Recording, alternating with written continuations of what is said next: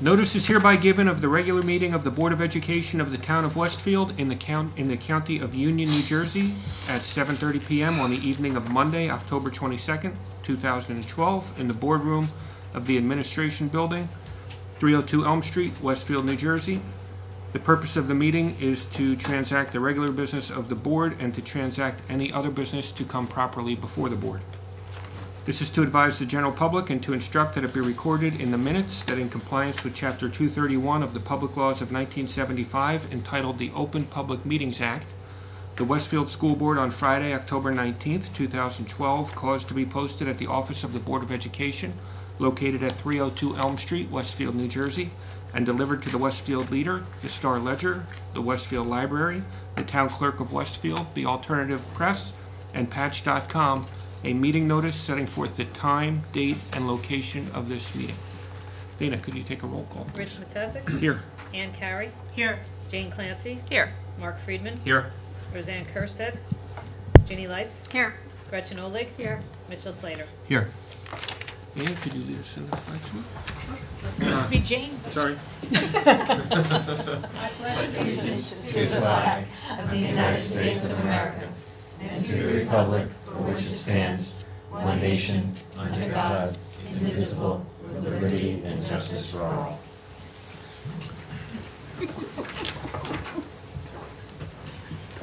All right, announcements. Gretchen, anything on your end? I do, I have a couple. Um, a few. Um, on October twelfth, the Westfield High School volleyball teams and the Breast Cancer Awareness Club teamed up to host a tournament against East Brunswick and a silent auction to support the fight against breast cancer. The two thousand and twelve Pink Out raised eighteen thousand four hundred and seventy dollars to be donated to the Susan G. Komen for the Cure. Kudos to all the students, faculty, families, and area businesses who contributed to the success of this worthwhile cause. The Pink Out has been an annual event initiated by the volleyball team in honor of their coach, Beverly Torok, herself a breast cancer survivor. Uh, in other news, district staff continues to provide leadership and guidance in their respective fields. Recently, athletic trainer Christopher Flores wrote an article on shoulder exercises for quarterbacks that was published in Stack, a scholastic magazine that is distributed through the United States and focuses on fitness, nutrition, and sports.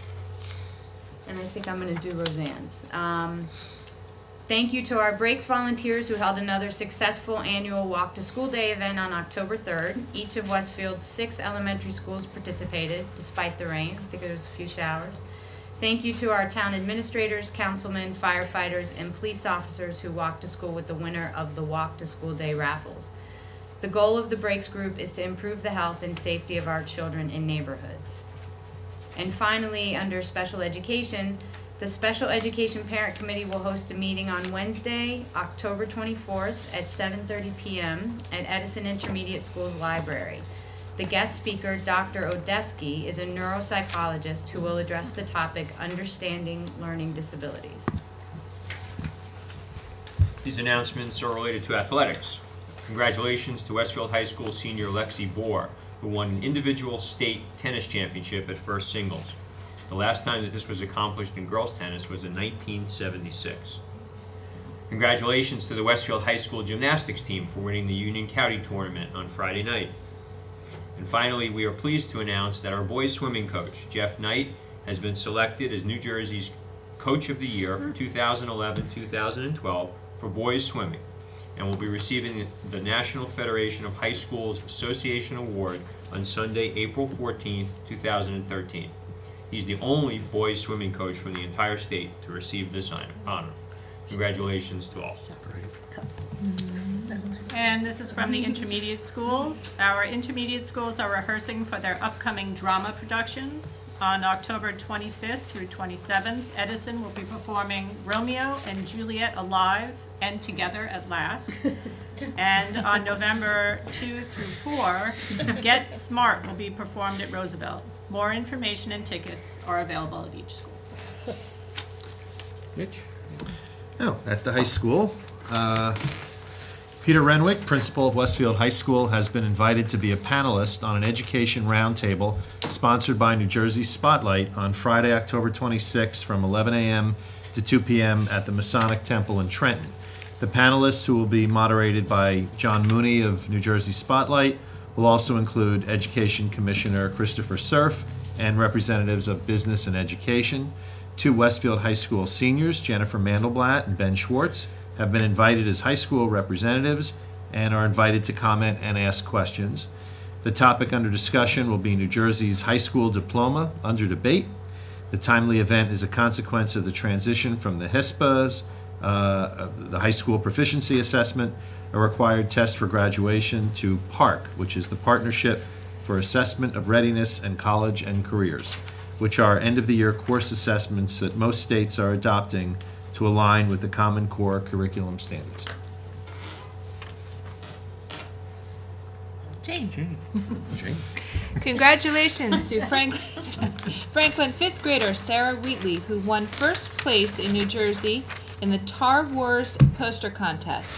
Sarah advanced to the nationals, where she placed seventh in the photo contest. She was invited to Washington, D.C., where she toured the Capitol and met with New Jersey state legislators.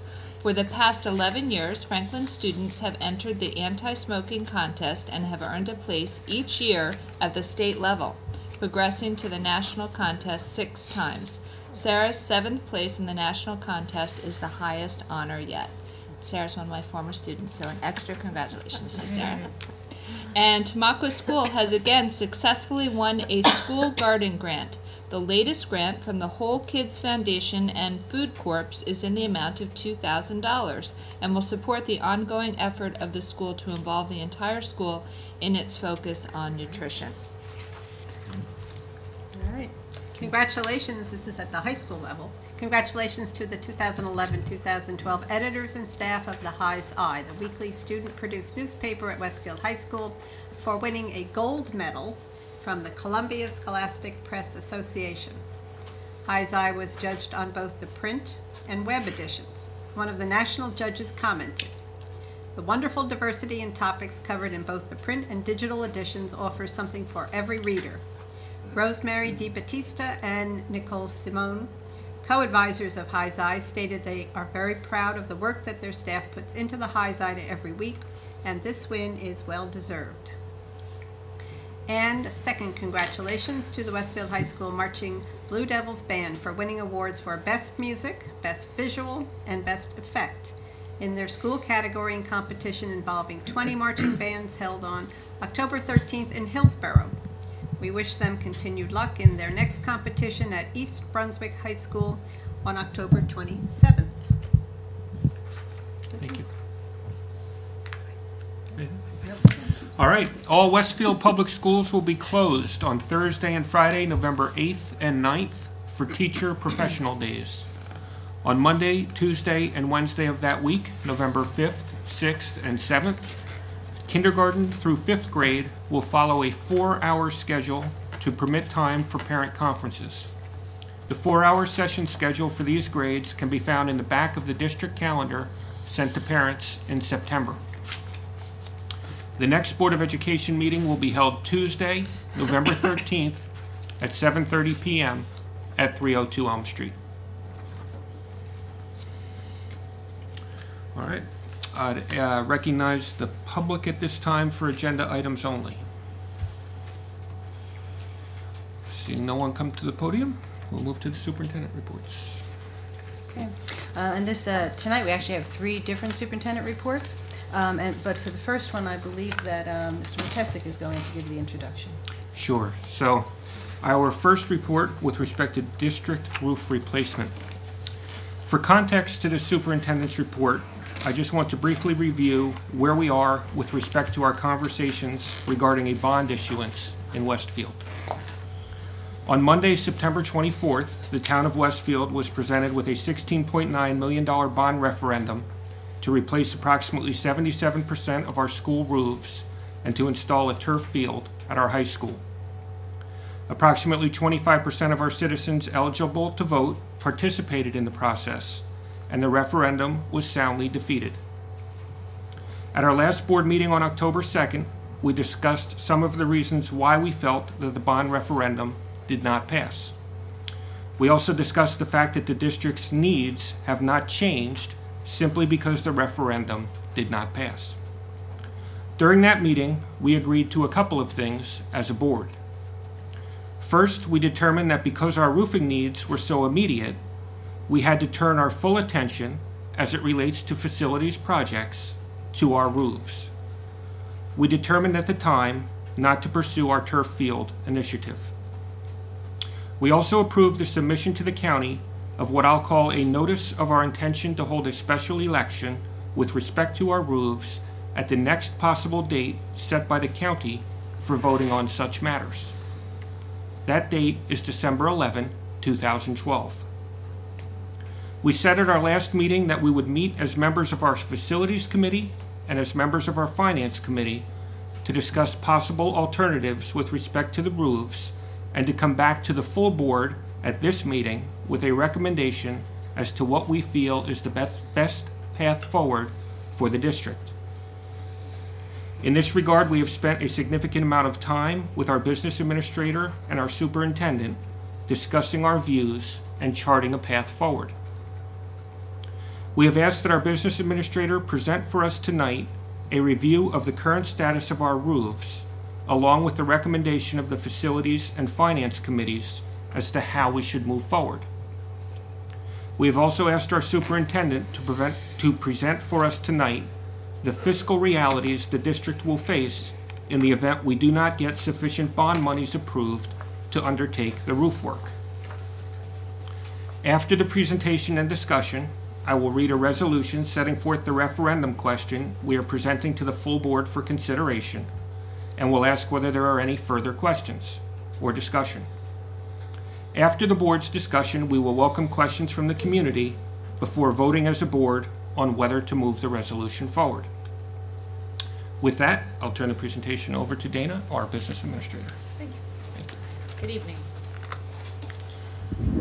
As Mr. Mattesich mentioned, we've spent um, the last several weeks reviewing all of our uh, roofing needs, um, Facilities Committee, the Finance Committee. um, We even had several of you uh, go on a few of our roofs um, and actually look at the situation. Um, And the recommendation from both the Facilities and Finance Committee is to request approval for a bond issuance for the full amount needed um, to replace roofs in the district, which is $13.6 million approximately. That will allow us to complete as many roofs as possible next summer. We're hoping that would be two or three, um, with the remaining roofs to be done the following summer, 2014. Um, we have determined the high school is a priority, so we know that um, the high school would certainly be on for next year. Um, and we, as I stated, hopefully one or two additional schools. Um, The plan would be to continue to use our maintenance and reserve accounts for other building improvements. Um, Going forward, we have plans to replace classroom floors, upgrade heating and ventilation in some schools, and replace windows and lockers. Um, As you know, we did use maintenance reserve in the last year or so to do um, several boiler replacements, some parking lot repairs, um, some bathroom renovations, and some window and door replacements um, in the past year. Why do we need these roofs? Our, the average age of our schools is 73 years old. Um, a number of the roofs are beyond their useful life. Um, they have active leaks that we can, just cannot even repair any longer, and um, we can't even de- detect exactly where some of the leaks are, are originating from. And se- several of our roofs no longer provide weather protection. We are looking to remove and replace approximately 420,000 square feet, or 77% of our roofs. And as I mentioned, the total cost is approximately 13,600,000. This breaks down the total um, cost of thirteen million six. These, of course, are estimates. Um, If the bo- bond gets approved, the architects will have the go-ahead to develop bid specs and construction documents, and we will go out to bid and um, have to award to the lowest responsible bidder. Um, So these costs may come in under. Um, If they come in over, we'll have to make adjustments to the bid specs, but um, there's money in the, in the estimates for contingencies. At Montclair High School, As I stated, this is our priority. Listen, Sorry. I knew it was gonna happen sooner or later. we're taking care of them too. Sorry. Westfield High School. 83 percent of our roof there will be removed and replaced. Um, this is clearly our priority. Um, we, we do have many active leaks in this building. The remaining area of the roof, the other seventeen percent, we would do preventive maintenance on to prolong the life of that roof. Um, there's also masonry restoration work that's in, in this, in our estimates, um, for the walls that are at the top of the building to replace cr- cracking and deteriorating bricks along, along the top and to repair mortar joints. Um, we have a number of skylights, and you'll see this in, a number of schools, that will either be removed or replaced. And what we mean by that is, if they're providing natural daylight, we will replace them. But if they're not serving a purpose for providing daylight, then they'll be removed, um, because skylights tend to create issues with leaks. Um, at the high school, there's a certain amount of, a decent amount of equipment up there, um, electrical lines, ductwork, and gas piping. Um, so there is money in the budget to deal with those things if we need to when we get up there and start removing the roof. And here's some pictures of some of the roofs at high school, at the high school, you can see, um, the, the, on the left, that it's very deteriorated and there's standing water on the right. At Roosevelt School, um, we have almost hundred percent of the roof that needs to be replaced. Um, again, skylights that we need to take care of. And there is a terracotta trim around the perimeter, perimeter of the building where water is actively entering, so we will repair and restore that, um, as needed. And there are some pictures. Um, some of the pictures, and a lot of these pictures, you can see standing water on the roofs. And in a lot of these uh, roofs, you can't see it, but if you, if you pulled up along the edges, um, you could actually just start pulling some of the roof right up. At Edison School, approximately eighty-seven percent of the roof will be removed and replaced. Um, the remaining roof will have preventive maintenance, um, to extend the life expectancy, and we have some chimney masonry restoration work to be done at that school. And some pictures. Some are more obvious than others of the work that needs to be done. At Washington School, we have uh, also approximately eighty-seven percent of the roof to be removed and replaced. Um, we'll be replacing the fascia at Washington, restoring the chimney, replace the clerestory panel system. And, um, I think I have a picture of that in the next, to show it's like an alley that runs down the middle of the roof. Um, and we're also gonna be doing repairs and preventative maintenance on the remaining roof there. And I believe on the right is a picture of the clerestory panel. Um, and on the left, again, standing water. The entire roof at Tamaques will be removed and replaced. Um, there is also inadequate drainage on, on the roof of Tamaques, so we'll be replacing the drainage that is there, the piping, and, and adding additional drainage. Um, and there are also skylights that we'll be removing or replacing.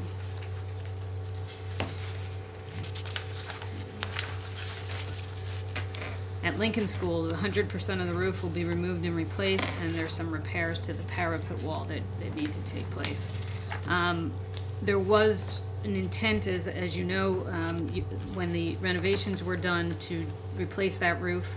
Um, but there were unforeseen construction costs at the time that prevented us from doing that, so that's why the roof is, um, being done now.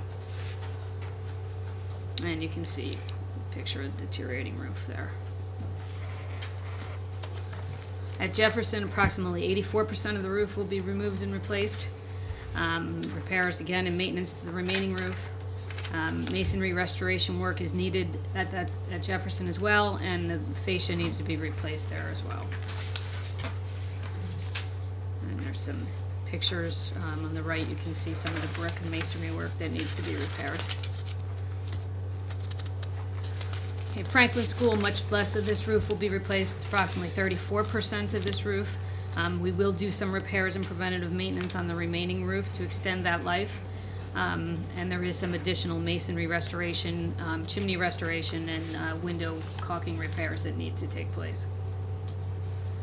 And you can see some of the, the window on the bottom left, uh, repairs there, and masonry on the right, and the, the roof that's being replaced on the uh, upper left. At Wilson School, approximately twenty-eight percent of the roof is going to be removed and replaced.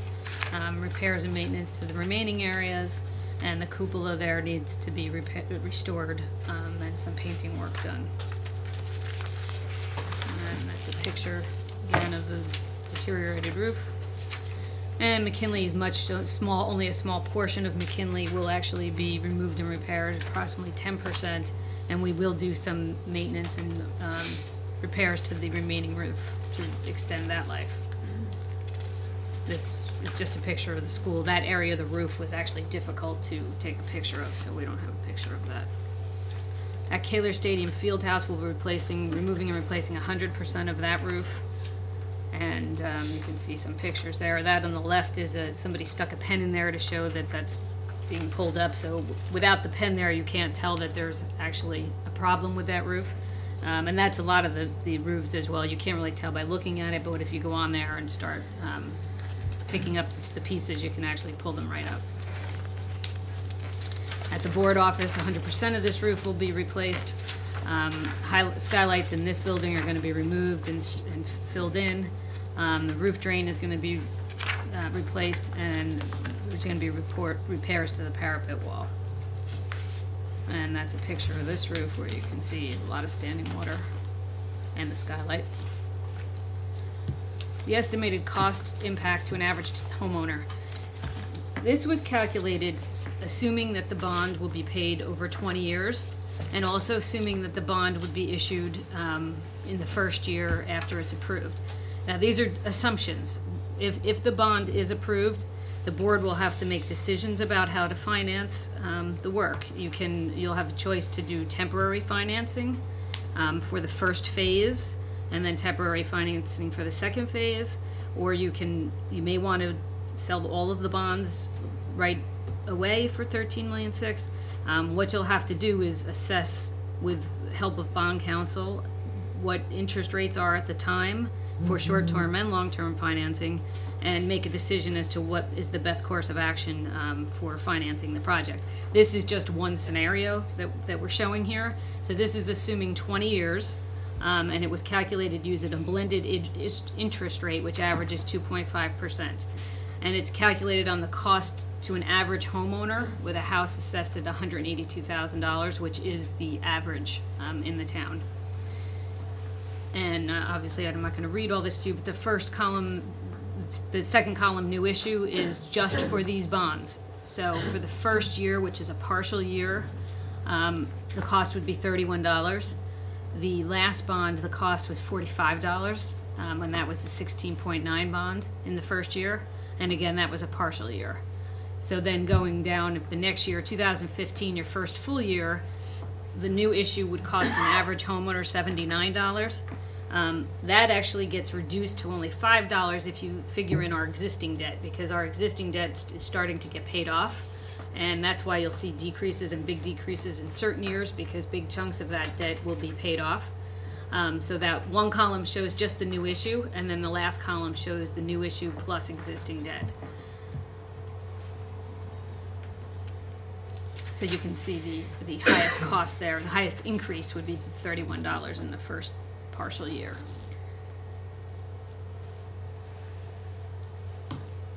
Next steps, if the bond referendum is approved, the district will, as I said, com- try to complete as many projects as we can next summer. Um, we are under a bit of a time constraint. Um, we will have to go out to, we're hoping that if the bond is approved, we can get out to bid in March, um, or April. Uh, the problem that we have with that time frame is it doesn't give us a whole lot of time for bids of these, of this size. Um, but we are certainly, we will certainly push and get the high school done, and we're hoping to get one or two other schools if we can. The remaining schools will be done in two- summer of two thousand fourteen. Um, the good thing about that is we will have a lot of time to get those bids in order, and we'll get them out early, so we should see, um, hopefully good prices on those, because we'll have those bids out as early as we can. If the bond referendum fails, funding will have to come from the operating budget. Um, as you know, the operating budget can only increase by two percent. The tax levy can only increase by two percent, which means that the funding for the, the high school roof, because that would be our priority, would have to be reallocated from other program and other costs in the operating budget. Um, Those reallocations would have to be sustained for probably three years in order to complete the remaining roofs. And we would probably have to use all of our reserve account also for the roofing projects, which would mean the other maintenance projects that I mentioned earlier um, would have to be put on hold. And at this point, I'll turn the presentation over to Dr. Dolan. Thank you. So as Dana just said, um, if the, uh, the uh, bond referendum is not approved, we would have to reallocate, um, just to take care of the high school roof this coming summer, we would have to reallocate approximately four million from the budget. So what does that look like? Well, in order to look at that, it was only a few years ago where we actually had to cut four million dollars in a very short period of time. So to start off with, I'm just going to quickly give an overview of what we had to do to cut four million dollars um, in just a few years ago. So one of the things we were able to do is we were able to reduce energy costs through, conser- through our conservation program. We were able to reduce printing and mailing costs by using digital forms and notices, and we were able to negotiate savings in items such as insurance and also professional fees. Now those savings are already built into the budget, so that can't be part of any forward four million dollars because that's those savings are already accounted for in our existing budget. Okay, but that did help us the last go around. Some other things we did when we had to cut $4 million, we had postponed facility improvements. We had also postponed the purchase of, of new technology, and, and those of you who were paying attention last year to our uh, efforts at the board table, we spent a great deal of time with a number of parent and community groups trying to get a technology initiative because we knew we had fallen behind because we had postponed technology. We had also instituted a student activity fee. And, and uh, also during the same time, in order to, we still weren't at that $4 million, we had to cut approximately 30, over 30 positions. And that included teachers and secretaries and paraprofessionals and supervisors and coordinators and custodians, librarians, and counselors. We also cut stipends for over 40 after-school programs, and we also had cut the substitute salary by um, 10%. So that's what we did previously to make, make it to, that's a quick overview, but that's how we were able to cut $4 million. So what we, what would we do if the bond does fail? And just to get to the Westfield High School roof for next summer, um, we'd have to cut the $4 million, and then the next year we would have to also have approximately $4 million available to do the other roofs in, in desperate need of work, and the year after that, we would have to do the next level of priority uh, for roofs. Um, and my guess would be it would actually be another year after that, but it would certainly be three years of that. So in order to get that for approximately $4 million, what would we have to do? And I- as was suggested, we would have to postpone some facility improvements that we have put in our five-year plan that we've said we need to do. We would also have to postpone our ongoing commitment to technology and to STEM. Putting all that together, we would have saved approximately uh, $500,000. So with $3.5 million left to cut, you really don't have many other options. You could find a few thousand dollars here or there, and we will do that. But really, you would have approximately $3.5 million left, and you'd have to cut personnel. With that big of a cut, you absolutely have to look at every program, every level, and um, everything would have to be reviewed, similar to what we had to do a few years ago. And approximately this time, however, because we've already realize the savings, and there it's already built into our budget in a few of the items, we would now have to eliminate approximately 50 positions.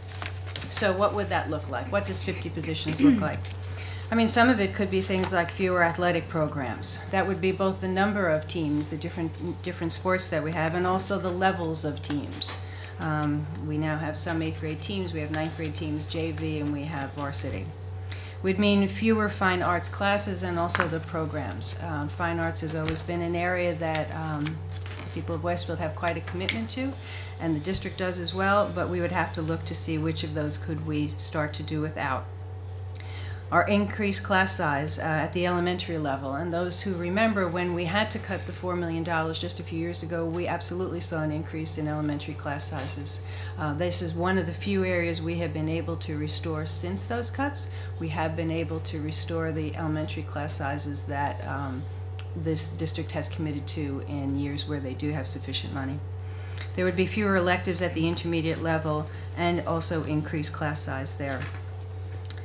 And um, there would be a higher minimum enrollment for all Westfield High School classes. Um, This we also saw evidence of years, years ago when we had to cut costs and cut $4 million. We had to um, look at those programs where we had maintained a low class size.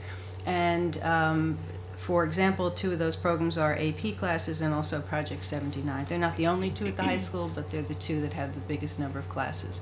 And you have to make sure you have a um, equity among all programs, and you have to look at the minimum enrollment for those classes. And there would also be an increase in class size in general at Westfield High School, something we also saw um, the last time we had to cut four point, over $4 million. Uh, As we saw last time as well, there would be a decrease in counseling staff. As we saw last time, there would be a decrease in librarians. And as we saw last time, there would be a decrease in um, technology staff. So um, those who, again, who do remember what it was like when we had to cut $4 million, it wasn't as though it was easy. It wasn't as though peop- people and programs and students and adults weren't affected. They were. Um, But that would be somewhat like what it would um, look like if we needed to do that, if the bond doesn't pass. All right. Well, thank you for uh, a very straightforward presentation on the roofs and, uh, Dr. Dolan, potential budgetary impact if the referendum doesn't pass.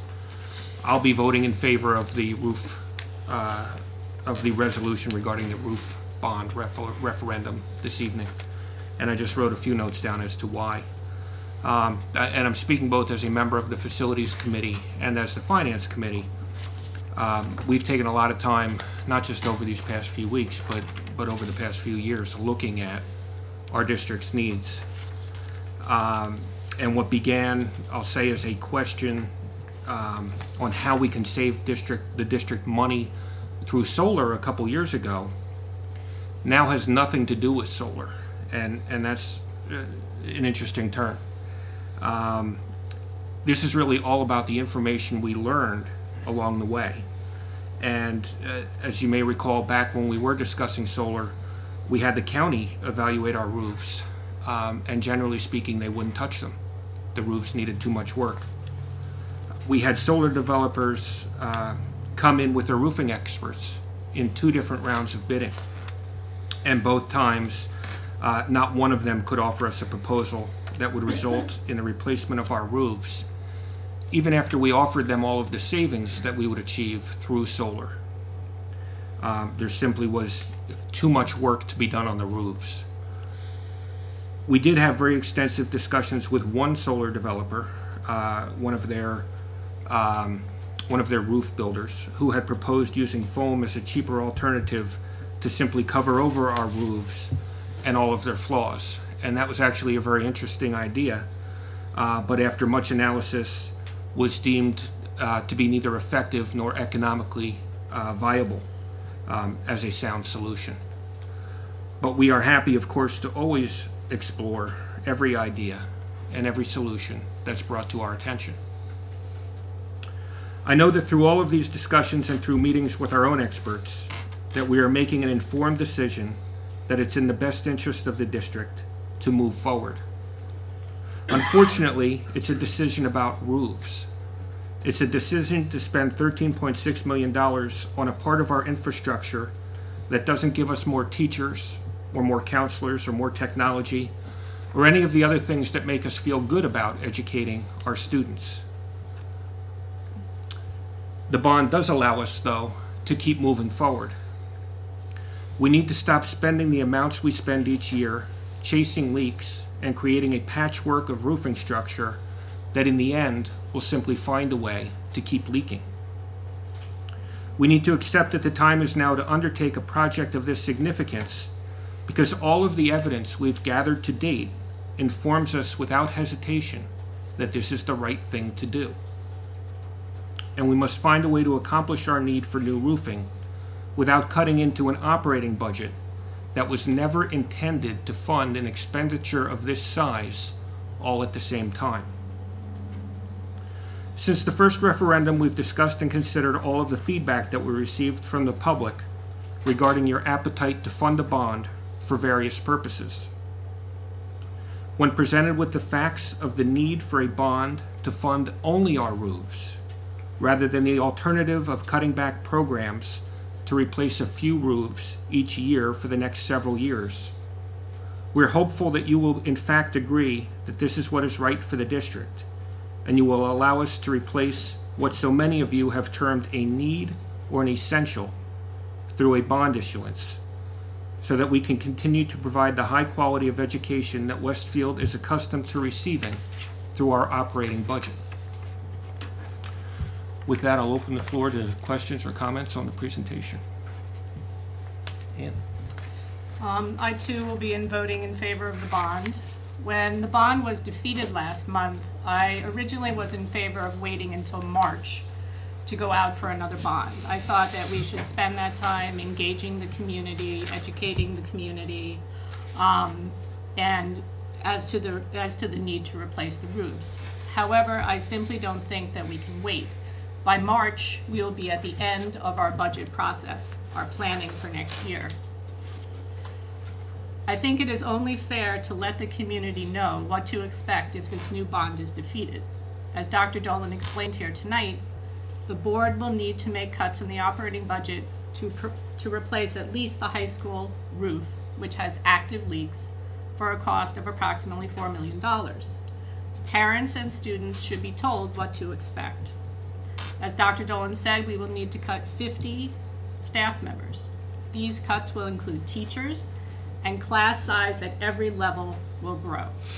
In the last two community surveys that we've done, class, small class size was the number one priority of parents. Also, extracurricular activities. These are probably the priority of our students. Will be cut in both fine arts and athletics. Counselors, librarians, and technology staff will be cut.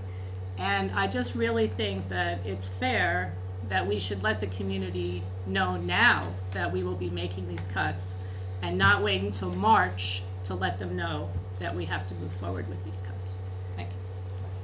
Thank you. Mark?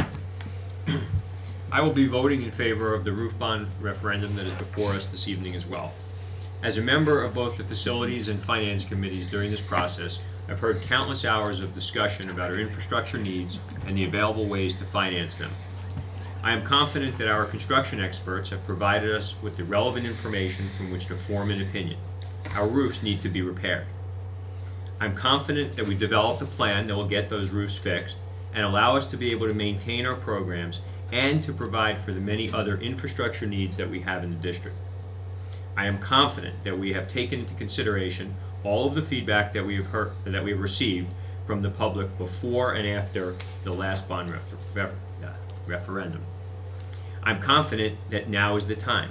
We have heard our financial experts tell us that bond rates are at an all-time low and that construction costs will also work in our favor. Putting this off will only add additional risks to a project that must be done.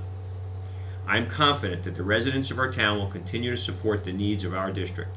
I fully understand that economic times continue to be difficult for many members of our community, and for that reason, I will continue to work hard to make sure that the budget dollars that you fund will be used in the most efficient way possible.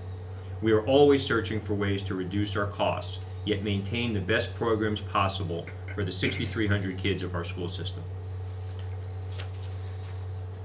Thank you. Rich? First, I'd echo everything that Rich and Ann and Mark have said. I will be voting in favor of this bond. Um, This isn't easy. And clearly, I think it's important to point out that the Board of Education hears what the town says and clearly heard the results of the last defeat. But the facts are the facts, and we've spent a great deal of time, um, not just in, over the last few weeks, but as Rich said, over the last few years, hearing over and over about the troubles with our roofs. And over the last few weeks, we've seen right up close and personal that this exists. These roofs have to be fixed. There's just no two ways about it. Um, and it has to happen now. And especially, it has to happen uh, at a number of the schools next summer. And I think that the plan that's been laid out is, is it makes perfect sense. And I think it's also fair to just put it out there, as Ann has said, that if we are unable to get this done, we will have to make cuts. And I, and personally, as you know, as chair of the ad hoc technology committee, I don't want to see us go backwards. I think we have, to use the football analogy, we're halfway down the field. We have made some tremendous leaps. There are some really exciting things going on in the schools. I was at the uh, high school PTSO meeting this week, and there's just some very, very, very interesting things going on. And the staff that's been brought on board are, are doing remarkable things. But part of the plan that we laid out is to add money every single year over the next few years to make sure that we're not just throwing technology out there and not having a plan to back it. And our assistant superintendent has done some great work, and I want to see that continue.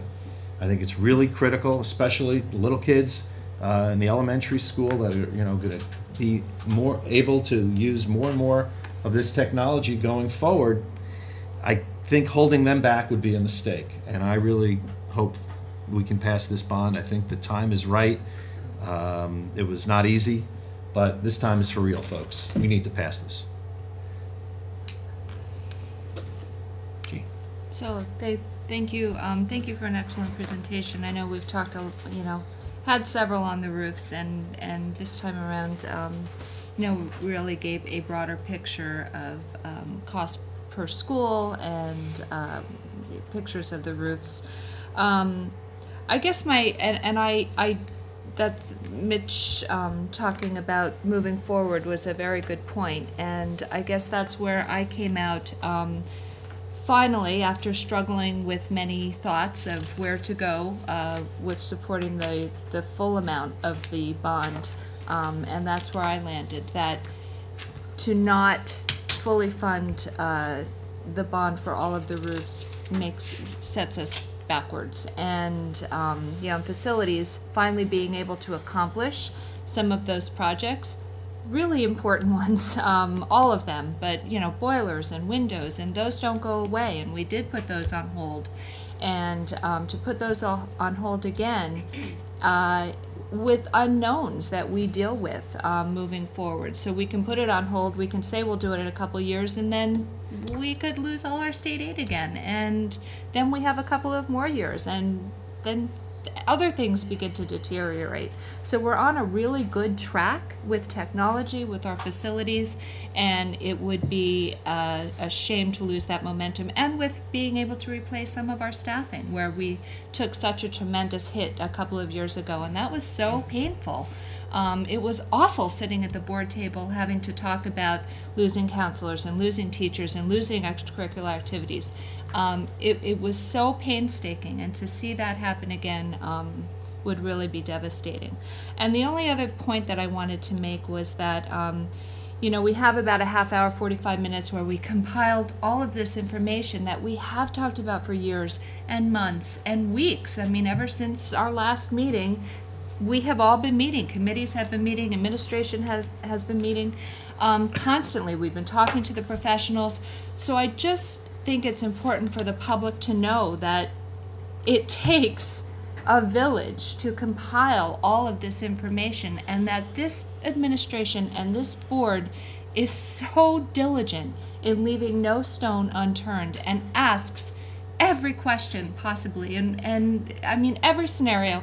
I mean we have chalkboards for Rich Mattesich, and we have charts for Mark Friedman, and we have roofs for other members to climb on and, and you know practically risk their lives to really get a full view of what these roofs look like. And um, so I'm sure there will be questions that come back to us from the public, and we always welcome them because we are so open and so honest and want the facts desperately to come out. Um, but just know that um, a lot of work goes into the behind the scenes that you just really have no um, no idea. It's kind of you know, until you walk the shoes, you don't necessarily understand um, what it's like. So just to get a little little picture of um, how much work goes into it. So Judy? I'm proud of the work that um, committees have done to get us to this point. Um, Facilities and finance to re-examine all of the data, to put it in new context of um, community feedback through the defeat of the first bond attempt. Um, the administration, and our business administrator, our grounds supervisor, our um, professionals who we called in. I did go up on a few roofs. And there's nothing like seeing firsthand um, spongy areas, uh, pockets of deterioration. Uh, You can hear stories, but um, I'm a show-me kid. And, uh, and it makes a significant impact when you can um, look at the uh, disrepair of what it is we need to fix. Um, I, uh, I will vote to support this bond question. Um, I appreciate all of the um, conversation, all of the diligent um, questioning that took place around all the tables where it took place. Uh, I know that there were uh, many points of view that were aired and many um, arguments for different scenarios as to what approach should be taken, but um, I'm confident that um, the right approach has been designed. Um, I'd just like to reiterate what my fellow board members have said, and that is I will be voting yes for this bond. We do need our roofs. And I also want to just piggyback on something that Jane said about the unknowns and state aid has been increasing in the past few years, but we don't know if it will continue to. And it's quite possible that they could take it away and then we'd be even further back in our operating budget, and that would be really, really scary, because we won't, we would not have been able to plan for it, since the state does not give us that information until the last minute, so that's one thing, and the other was something that Ginny said about there were lots of scenarios talked about. Um, Anne brought up that right after the vote, she thought we should wait till March, let things settle, let, collect- let's collect a lot of, inf- you know, figure out more of what the people were thinking. Um, we talked about going out for less, not the full amount, and trying to pay for some of it with the operating budget. And with all of the questioning and with all of the scenarios, funding the full amount was what we feel is the best. The roofs need to be fixed. They need to be fixed now.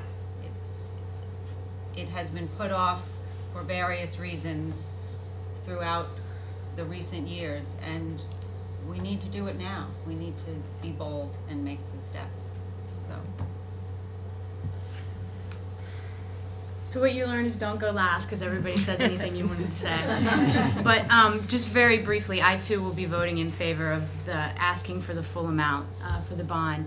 And I, I think the only thing that I want to add to what was talked about was that we did not take this decision lightly at all. And I know that other other members have said that, but we did look at not only every single roof, but every single configuration of the numbers required to fix the roofs and how this amount for the bond and this amount for the bond and this amount for the bond. And I think it's our collective, you know, conclusion in mine as well that we're not forward looking and we're not good stewards of our district's monies if we don't ask for the full amount. That there are too many question marks, there are too many programs that'll have to be cut. And um, I mean, I'm struck most of all by, you know, the kinds of budget cuts that will have to be made and not having been here when we did that the last time around. It's, it's not acceptable to me as a board member and it's not acceptable to me as a parent. So um, I too will be voting yes. Anyone else? All right. I would like to move uh, finance motion number one, which I'll explain, and then open it up for additional comment. Allow the public to speak if they'd like before we vote on the motion. So, I'll second. thank you. And uh, if we could turn to that motion, it is, I'll just read it in part. A resolution providing for a special school election to be held on December 11, 2012, for consideration of a bond proposal to provide for the replacement and/or restoration of roofs at the Westfield High School, Edison Intermediate School, Roosevelt Intermediate School, Franklin Elementary School, Jefferson Elementary School, Lincoln Early Childhood Learning Center, McKinley Elementary School, Tamaques Elementary School, Washington Elementary School, Wilson Elementary School, Kehler Field House, and the Board of Education offices, including incidental and re- related equipment and work in the amount of thirteen million, six hundred thousand dollars. I had a second. Are there other conversation? Ginny had seconded. Are there other questions or comments from board members with regard to the resolution itself? I- I have one comment. Yes? I happened to be asked by a uh, public citizen about the language that's used in the bond resolution, and th- so I thought it might be worthwhile to just bring that topic up for a- a moment. Um, The language is given to us by bond- counsel. There are statutory requirements of things that have to be said within it. The uh, language does not appear all that layman-friendly. Um, However, it is not up to the board to characterize it, write it, or um, we we have no uh, say in it. So un- unfortunately, um, it is what it is, and it it contains a factual statement of our intent, and it is in a language that the um, the state has required to execute what we want to have as a bond referendum. So Uh, That's a great point, and, and I think we were probably all asked similar questions. Why would we put language like this on the ballot? And it is uh, specific to statutory language, it's required, and it refers really to a time when projects like this could be funded. And I, apparently there were times when school districts could have Right. gotten grants but didn't, and so you Right. had to say that. We have to say that as well. The problem is there is no money available for a grant. So if you just read it on its face, it appears like we're not asking for money that's there. The problem is the money is just not there. Right. We would be happy to ask, we'd be happy to apply, we'd be happy to wait if there was any reasonable notion that the money would be there. And, and in fact, we had many conversations about that in the committees. Um, But the reality is, there's nothing to wait for right now. So we're moving ahead. Thank you. Unless there are other questions or comments from the board, I'd welcome the public to comment or question on this topic only. Sure. Brendan Galligan, 651 Shackamaxon. I'd like to thank you all for your email or quick replies to my email this afternoon. I wish I'd waited about 12 hours. Uh, answered a lot of the questions that I had uh, and actually changed my mind. Uh, I was originally against pushing forward, but seeing the actual numbers of what the cuts would look like, I'm 100% in favor now of going for one bond and really getting the projects going. Uh, I have been up on the roofs when I was a student. Don't tell anybody. They are not. it was before your time, Dr. Gillen. You can't build. Okay, good, all right. Uh, they were Swimming pool. questionable then. They've got to be worse now. Uh, also, uh, speaking to the last comment about the wording, I urge you guys to go on a public relations blitz and let everybody know that there really is no money available. Because the conversations that I had with the last ballot when it was mailed out to everybody was, hmm, I guess Westfield's just not going to get it, so why even bother trying? Really convey the message without sounding threatening about the cuts, about the, the grants not being there.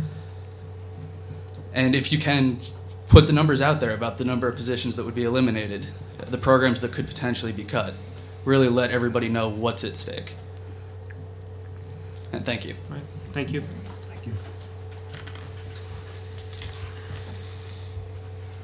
Anyone else? Yes, in the back. Go ahead, sir. Uh, you please come to the podium, just state your name and address.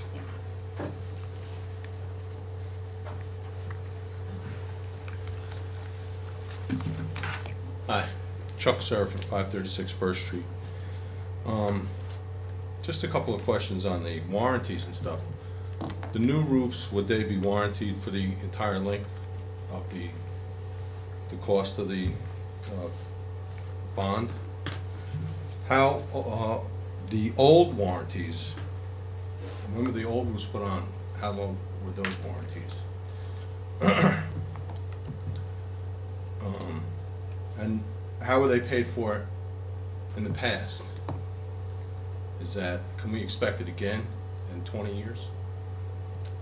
Is that this is normal? Sure. So, uh, Dana, I'm going to defer to you on the warranty questions, but I could speak to the funding for one second, and you could add. Um, So, uh, my understanding is that for full replacement in the past, bond was the way that that would have been accomplished. To repair and make minor replacements over time, that could come out of either uh, capital reserve or maintenance account uh, from time to time. And that's part of the problem we have right now, is we're spending money to do minor replacements and not getting at the heart of a problem. Um, I, I can't speak to many years ago, but I think really the question of focus, in my opinion, should be how do we not get here again? And I think that was the heart of your second question, which is wh- what can we do to prevent ourselves from being here in 20 years when we need a replacement, uh, not to go out to have a bond referendum? And what we have talked about is putting money aside each year for roof replacement. And we can make some reasonable prediction as to what roofs might cost in 20 years, divided by 20, and ask ourselves if we can fund that amount every year, um, a- and what the trade-offs would be.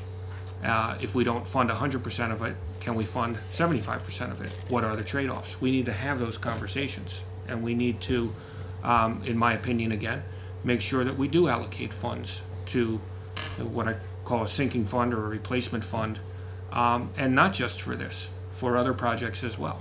Um, And we we are trying to do that. Um, In my experience, just even in the past three years, we we have started to maintain higher levels of maintenance reserves. Um, The statutes have allowed us to start to do that, and we've been using that money for true capital replacements, as you've heard, like boilers and bathrooms and things of that nature. So before I turn it over to Dana, did that address the financial Yeah, component? I, I mean, it- all of these things, some of these things at least have predictable, uh, life expectancies. Right.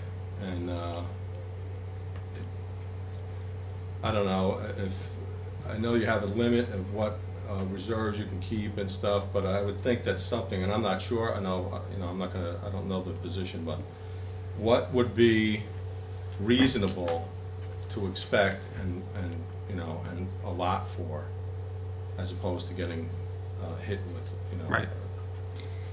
Go ahead. And I would just add um, to Rich's point that years ago, when roofs were replaced, the state funded had about forty percent um, of construction costs, and that disappeared four or five years ago, maybe even a little bit longer. And that was part of what created us to have such a huge hit. Because forty percent is quite, you know, they would match forty percent of whatever your construction costs were. And that's part of the language that's now in the bond. That's the money that's dried up and no longer available. So hopefully, and so this is the mechanism that the state has now left for schools to go out for large capital um, projects. Um, so I just wanted to add that point, that that was something different from how it used to be. And maybe it will change again. Um, you know, construction's been taking place on roadways. Hopefully, schools will be next on the state list at least. Dana, can you speak to the warranty piece? Actually, I'm going to ask George Duthie, our Sure. architect, because I think he can give a more detailed response than I can about the warranties. George?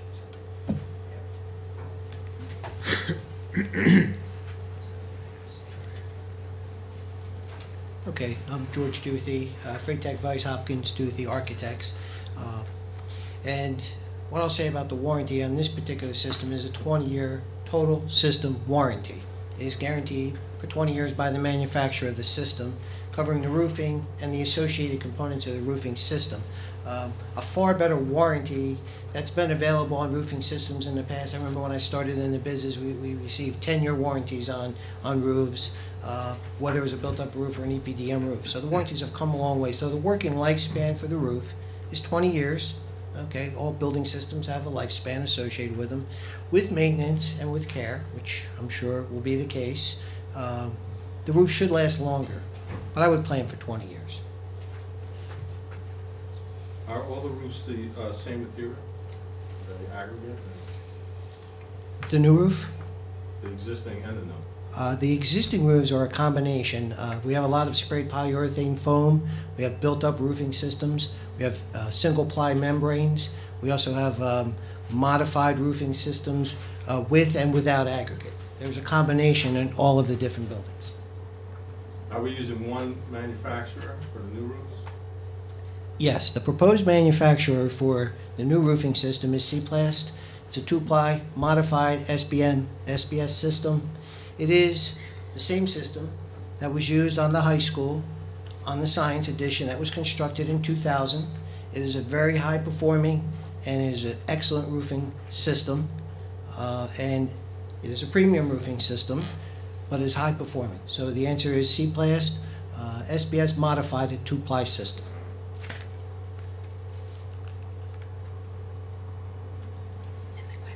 as a basis of design. The warranties, you know, whether they're still in existence. Whether the old warranties are still in existence. Oh, uh, George, so there was another portion of the question regarding the existing warranties or the old warranties to the extent any of them are left on the areas we're doing work. You do still have some existing areas under warranty at this time.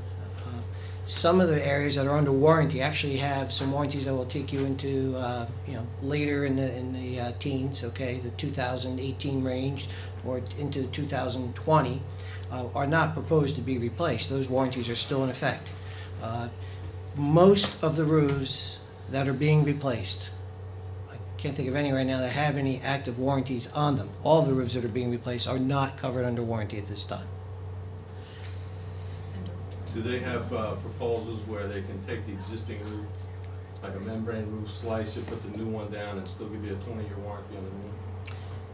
No. Um, The, the technical issues with the roofs that we have right now, uh, water infiltration is our largest problem right now. Uh, Really lack of a, um, what we would call a uh, induced slope, okay, which is a necessary drainage plane that we need on the roof, which is a code requirement to drain the roofs. So we have two issues. We have water saturation in the underlying roofing systems, and there are multiple roofing systems on some of the buildings, along with uh, a lack of pitch to allow water that falls from the rainfall onto the roof to drain. Okay, so those two problems in and of themselves really make the existing roof surface unsuitable to accept new roofing. It would be an option if the roofs were dry and there was a slope. There would be, there are some systems that are available, they don't have 20-year warranties, by the way, uh, that would work, but they will not work in this case.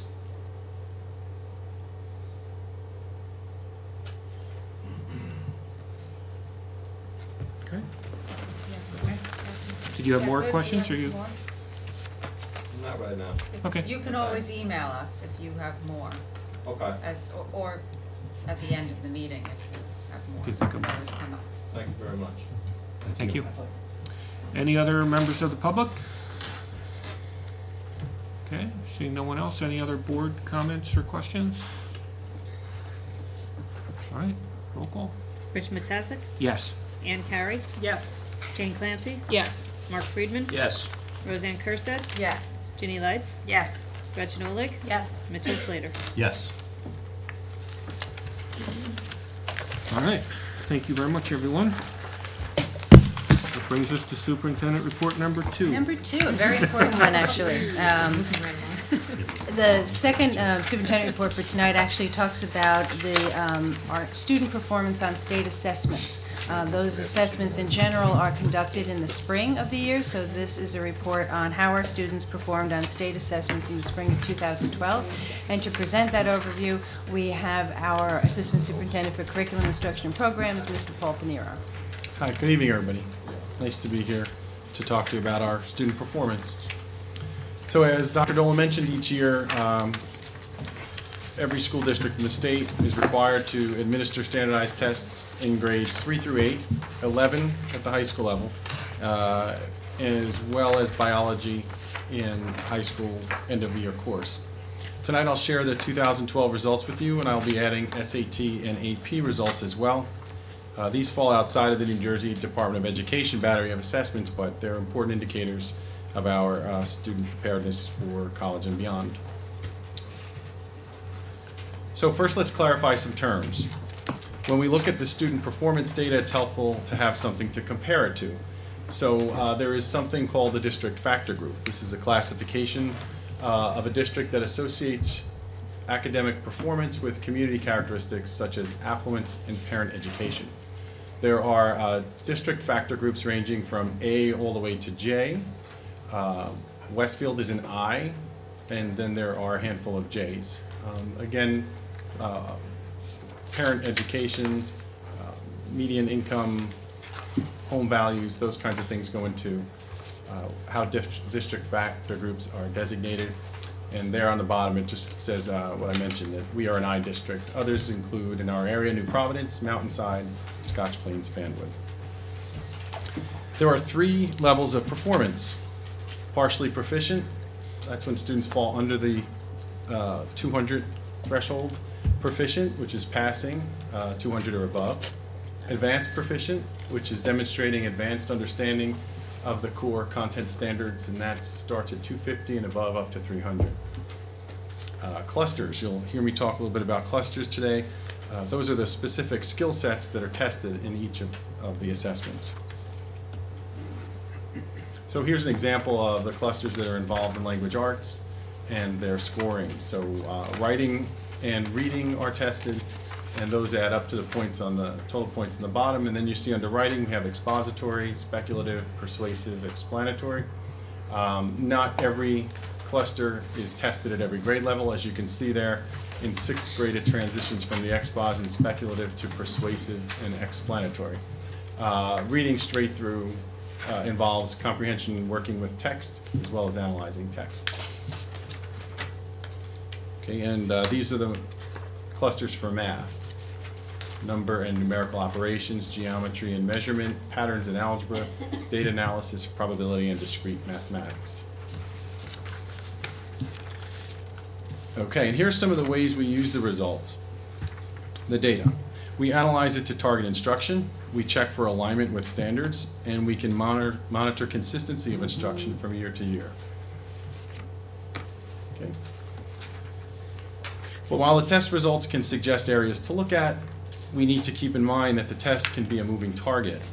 Any given grade level assessment may change. Skills can be emphasized differently from year to year. The level of difficulty for one reason or another may shift or change. Uh, grade level cohorts of students change from year to year, and uh, scoring protocols may change from year to year as well.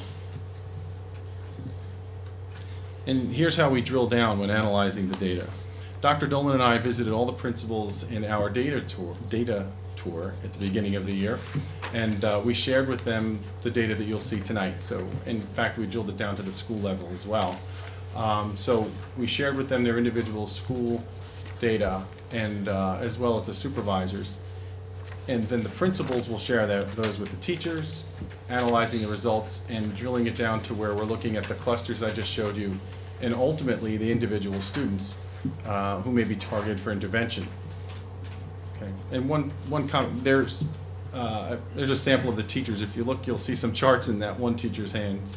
Um, and that's what I'm gonna be showing you in a minute, but it shows you some, the multiple years of data as well as comparing with the I districts and so forth.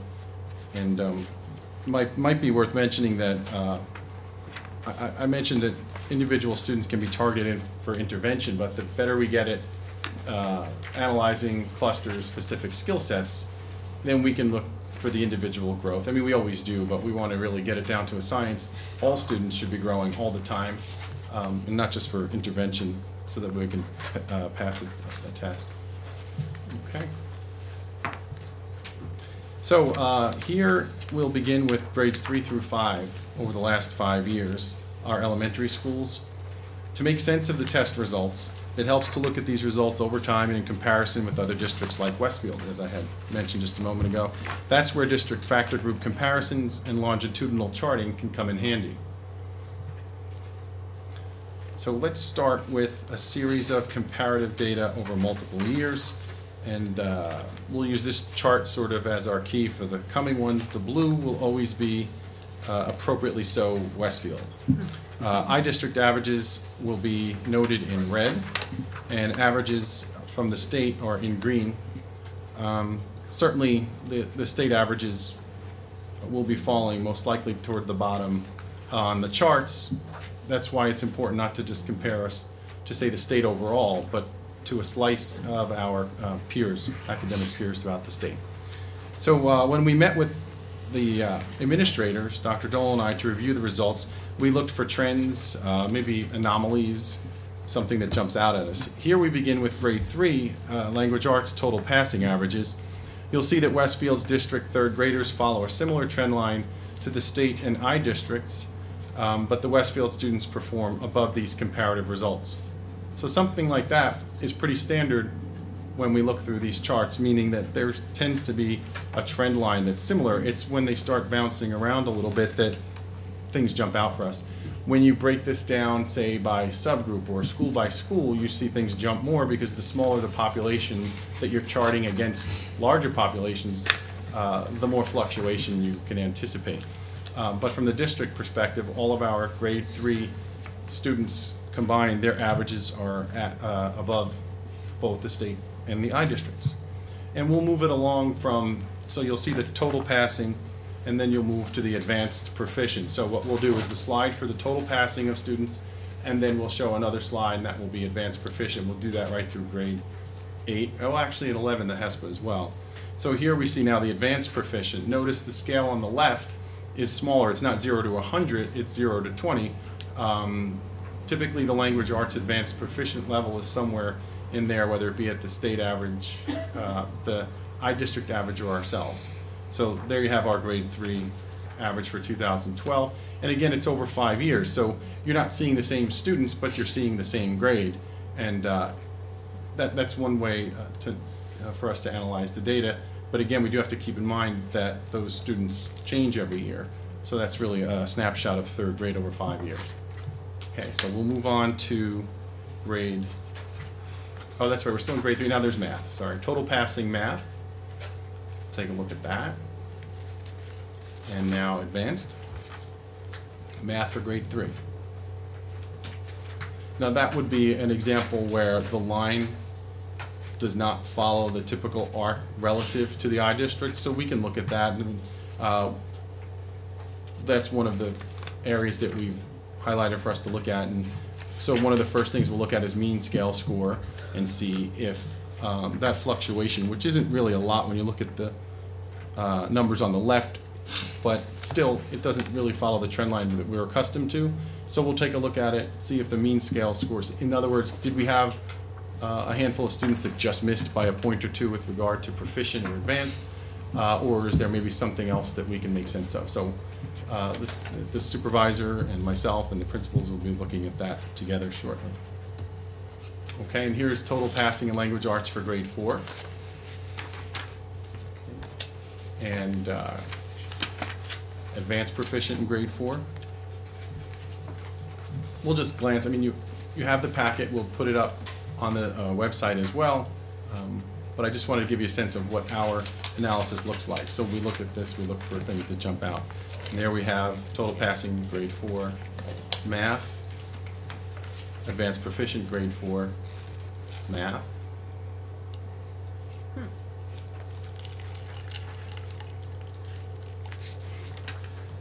Okay, um, let's go on to the next one. So science, uh, science is also tested in fourth grade and eight. And earlier I showed you the clusters for language arts and math. Uh, science clusters include life science, physical science, earth science, knowledge, and application. And so here's our total passing for grade four science. And we'll take a look at the advanced proficient. Okay,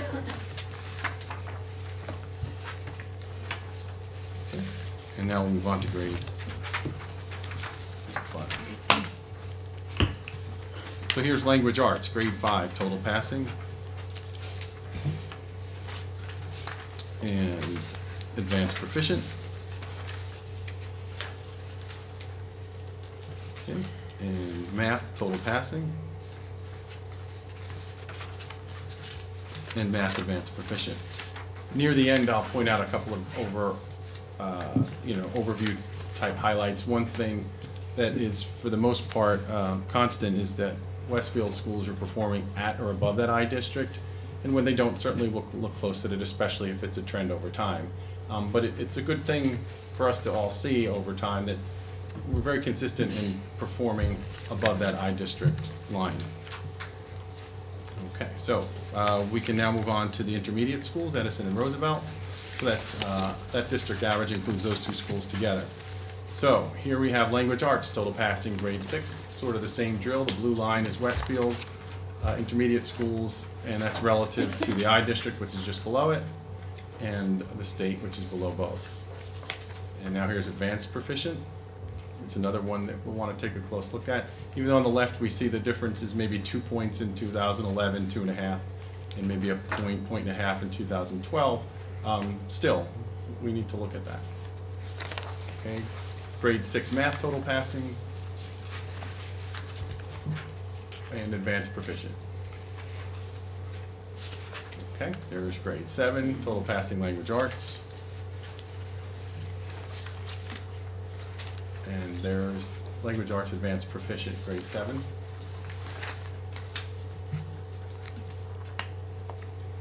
Total passing math, grade seven. And advanced proficient, grade seven, math. Okay, so there's grade eight, which is a tightly woven spiral between uh, Westfield and the I districts. And there's the advanced for language arts. There's math, total passing. And there's advanced proficient math. Science, as mentioned before, fourth and eighth grade, we test science, there's total passing, that's a tight connection between uh, Westfield and the I districts, and advanced proficient. Fluctuation in 2011, you can look at that, but 2012 seems to be back up. Okay, that brings us to the high school.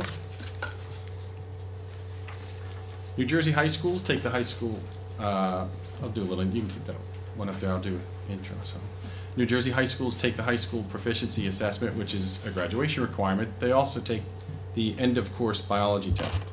In addition to the standardized test, we'll also look at Westfield High School's student performance on SAT, the Scholastic Aptitude Test, which is widely used by colleges as an evaluative metric for admissions.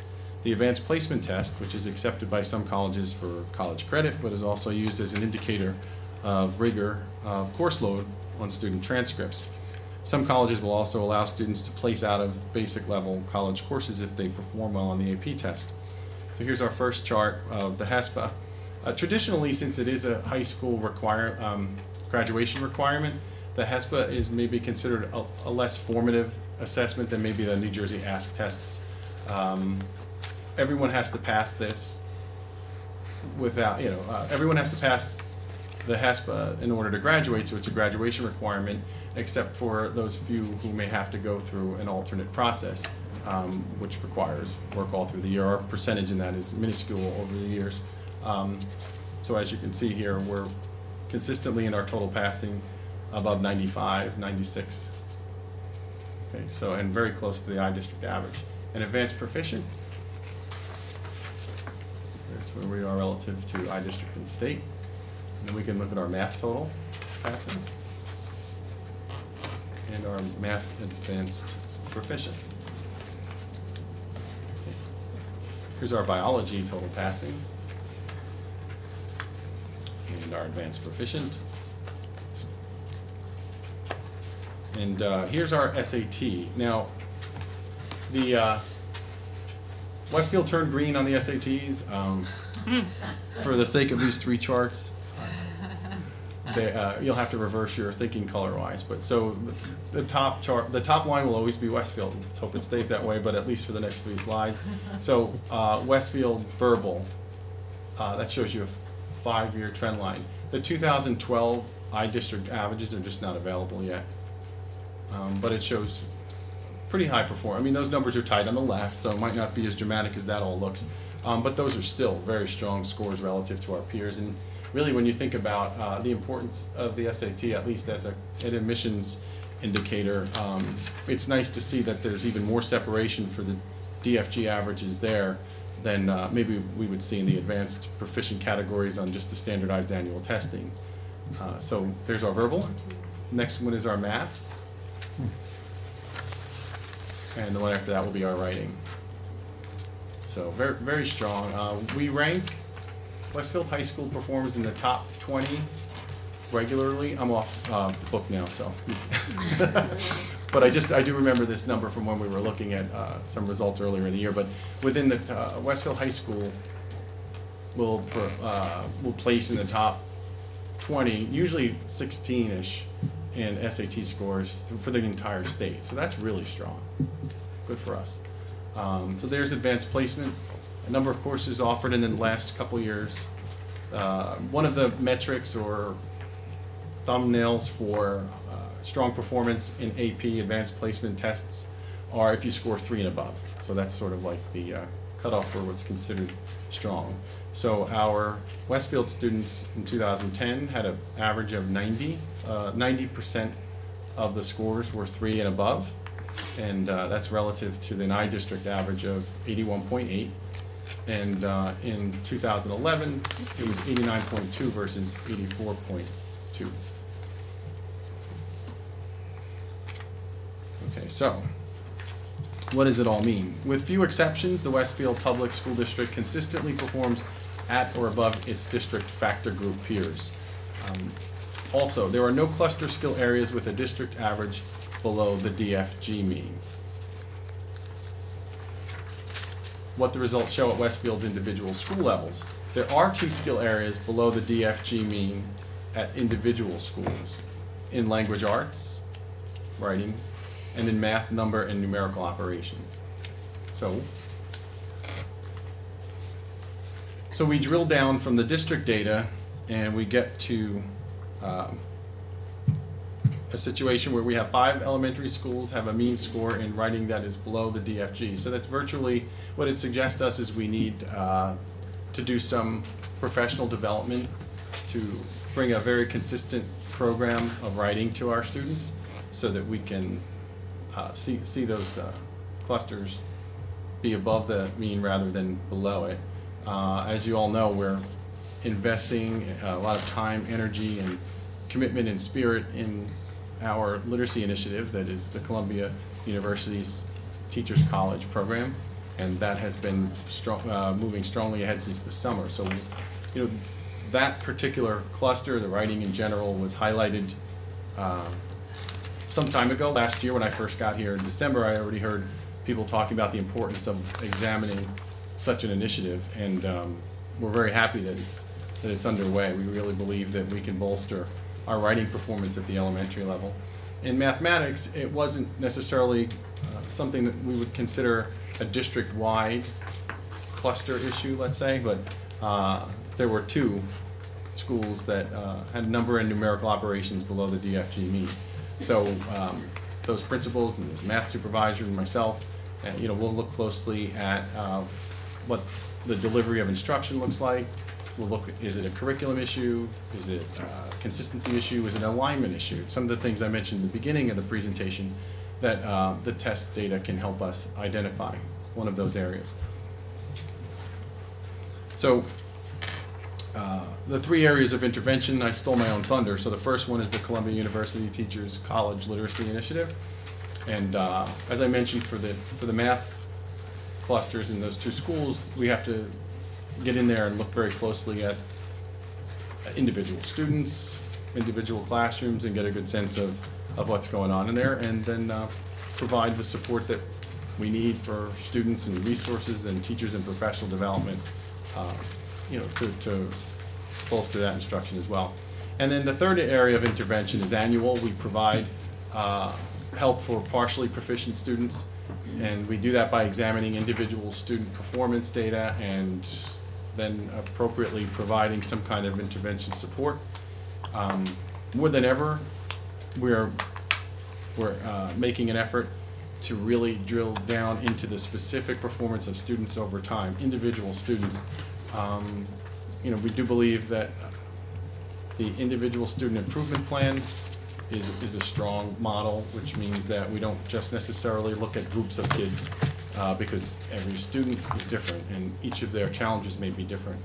Um, that being said, while we always have an eye on, on the intervention model for students who might not be passing according to the standardized test, you know, requirements, uh, we still are also committed to moving everyone up relative to their current position. In other words, everyone grows. The reason I've dropped the growth uh, term a couple times tonight is next year, um, when we're doing our presentation, there will be a different state, uh, a different state model for gauging what, what signifies good teaching, good schools, uh, high performance. And what I mean by that is it will no longer be, well, here's your passing. Because even if you consider our partially proficient students, we may have had many that were partially proficient by a point or two. We may have had uh, many that were partially proficient by a lot. Um, that number doesn't tell us much. We may have had partially proficient students climb from a 160 in third grade to a 180 in fourth grade to passing the next grade. That matters a lot, and it might not always show up. So the state has taken that into consideration as well as this whole new PARCC assessment uh, scenario. So we're going to start hearing more of that language. We've been exposed to it already, but it's the SGP, the student growth profile, that we may be looking at next year. I, I respectfully ask people don't share that with my secretaries who've spent the last eight months compiling DFG comparisons. Uh, and I kept telling them, this is an investment in the future. We'll have this every year. You'll only have to add one more year. Um, although I, one of them may be watching at home, so uh, I'll, I'll bring cupcakes tomorrow. What can I say? But it, it is important. I do I do stress with um, I do thank them, and I and I thank anybody who's contributed to all of this. But uh, you know, I say to my staff on. On, uh, often, this is among looking at this data is among the most important things we can do. Yes, it's tedious. Yes, it's it's uh, time consuming, but uh, we can't necessarily provide the excellent instruction and support that all of our students uh, deserve if we don't know where they're at for real and what it all means. And uh, so, you know, I can't stress enough how important that is to us, and I, I want you to, to know that we believe in that as well. So, this moving forward to this student growth profile, that will give us other options too. I mean, we're going, the, the state will be looking at uh, how many students are brought from one area to the next, and it will be a different kind of metric than the I district type of scenario. But um, actually, like how that captures the essence of of a full. Uh, I think it captures the essence of all of our students as as a unit moving forward, instead of the ones that have made it and the ones who haven't, and the ones that you know are part of passing, and the ones who aren't. You know, we're just hoping that everyone can continue to grow, and uh, and reach their individual potential. So, uh, with all that in mind, thank you. Thank you. Thank you. Questions or comments? I had a, a question on, um, just trying to understand the results and sort of lag time. So, when you say that there's, you know, five elementary schools had a, a lower evaluation in writing, for example, is that indicative of an issue this year that you could correct this year, or is that, to me, that just feels more like something in the system that, you know, maybe you already addressed it with last year's actions, Mhm. and it's just manifest in these scores right now, so you're chasing something that doesn't exist, or maybe the Right. contrary, you know, you're, well, I don't know. What- Right. Well, you know, chasing the moving target is something you want to avoid. It, the writing issue is not necessarily a moving target for us in Westfield, and here's why. Um, that trend line, if, if you looked at the clusters over years, it, it's pretty close, but since we consistently function uh, at or above I district averages, whether they be individual clusters or, or larger test results, um, that one has been consistent over a few years, so it wasn't a one-year deal. In fact, when I got here last year, there was uh, a series of spot writing workshops going on. Um, Dr. Weissman and the curriculum office uh, split the uh, resources and and invested in some targeted writing instruction that uh, we feel provided benefit. Uh, What we realized in that process, looking closely at it between, uh, you know, Tim Harrison as well as all the elementary teachers, that the new curriculum, as it was revised last year, is a balanced literacy curriculum, and the best way to deliver that in a consistent way was to have a consistent approach that not just was handled school by school, but district-wide. So we feel strongly that the articulation that allows, articulation um, opportunities, the fact that when teachers talk about expectations and, and grade level reading, that they're speaking a similar language. So, you know, the, the first part of your question is how do we avoid um, making, you know, that, dealing with that one-shot deal each year? You look for that trend, and so that trend was that trend was noticed, bef- you know, before even last year, and they were starting to make some investments into it, uh, resources, dedicated, dedicated some resources. And um, once that curriculum that Tim Harrison and the group did such a fine job on uh, came out, we recognized that, uh, you know, we, we needed to revamp and, and refresh the, the instruction of our readers and writers workshops. Thank you. So how long do you think that it'll take before we, we see a- an impact? I mean, I imagine that when we set out for goals, we don't set out for goals to have five of the elementary schools below the Mhm. mean, right? So, you Well, know, it's the DFG mean, let's, you Yeah. know, so. I mean, we do regardless wanna of be the. above Not a goal it. either. Right, Right, yeah. I mean, uh, whatever we're comparing to, Right. right? Right, that would be a good one. Um, and I, I- you know, it's kind of like, you know, I don't, I, I wouldn't set the, uh, the lines, you know, in, in the NFL, but I mean, it, it is speculative, but you would think, um, it's, there's a certain aspect of logic and common sense that with all of this effort, that we would see that small gap either close or even go away. Um, I expect that, I'm hopeful for it, and we're going to be assessing the program all along the way this year um, to see that it's not, that that learning curve doesn't have to be something that impacts students at all. That, you know, if we're implementing and supporting, that it will uh, benefit students right away. And so, I guess that's my way of saying, I expect that very small gap to be closed or completely. Maybe we'll even see something even more dramatic, but, so, I guess time will tell, but that's my expectation. Okay, thanks. So I just want to thank you for an excellent presentation. Um, I, you know, have sat at the table for many years now, and as a parent, testing always makes me a little crazy. I feel like our kids are just constantly being tested, and um, your presentation helps to remind me that there is value and that it does, um, you know, bring forward uh, valuable information that we then do make changes. You know, it just isn't there to, you know, make us crazy and have our kids obsess over, did I get my scores or, you know, anything, uh, anything like that. So thank you, because it, it was well presented. Yeah. Oh, they had your hand up before, sorry. Anyone else? All right, thank you very much. Thank you. So are we benefiting from wireless um, presentations there? Absolutely. Thank you. Yes. Well done. And we do have one additional uh, superintendent report. The, um, the state requires that every public school district report on the number of incidents of violence, vandalism, harassment, intimidation, and bullying, and substance abuse. And this is one area where um, the state truly is very careful about their definitions for all of this. Um, And it's an office actually in Trenton that uh, is a very organized office, so uh, all districts again are required to, to report this. But if I, if I can for just a minute focus on the Westfield Code of Conduct. Um, and we certainly work very hard on our academics in the district, but we also work really very hard um, to establish a climate that is um, supportive for students and that um, is a climate that allows students to reach their potential. And so our code of conduct um, states, and the code of conduct is, is written uh, with input from the community. So we believe a school district excels when all members exhibit strong character, including integrity and honesty, work ethic, and sportsmanship. And this is something we try in so many different ways, in the way we conduct our classes, in the way we treat each other, in the assemblies we bring in, um, in our work with parents. Uh, we really do try to work on this, and in the way we discipline our students as well.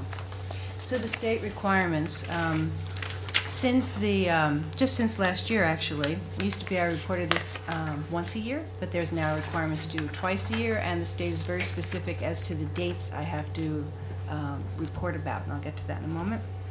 And um, before, harassment, intimidation, bullying was not pulled out as a separate issue at all, but that changed last year with the Anti-Bullying Bill of Rights. So um, that is now, uh, you'll see that as part of this presentation tonight.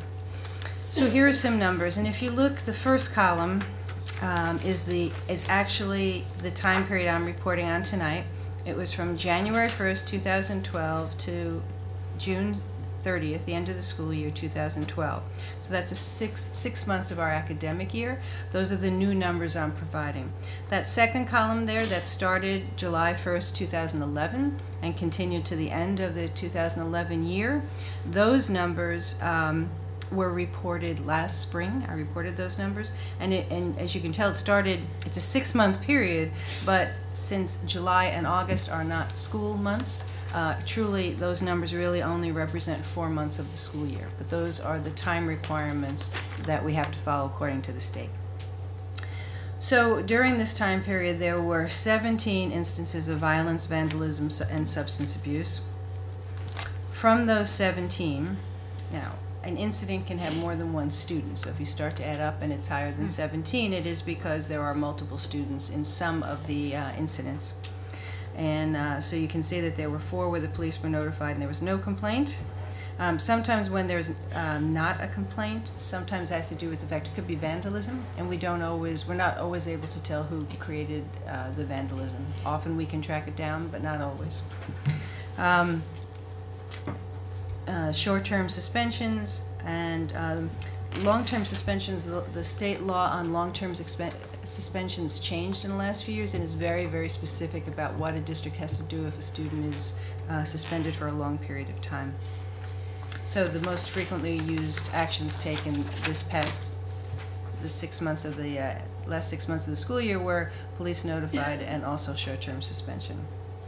Now we get to a breakdown between the offender information and the victim information. We're required to report whether there it involves regular education students or students with disabilities. And you do look for trends there. Um, so for example, I mean, one of the ones you, you do look for patterns. and You certainly don't want to see an overabundance of students with a disability being a victim because that sometimes can be a reason why they are targeted. So that's certainly something we look for.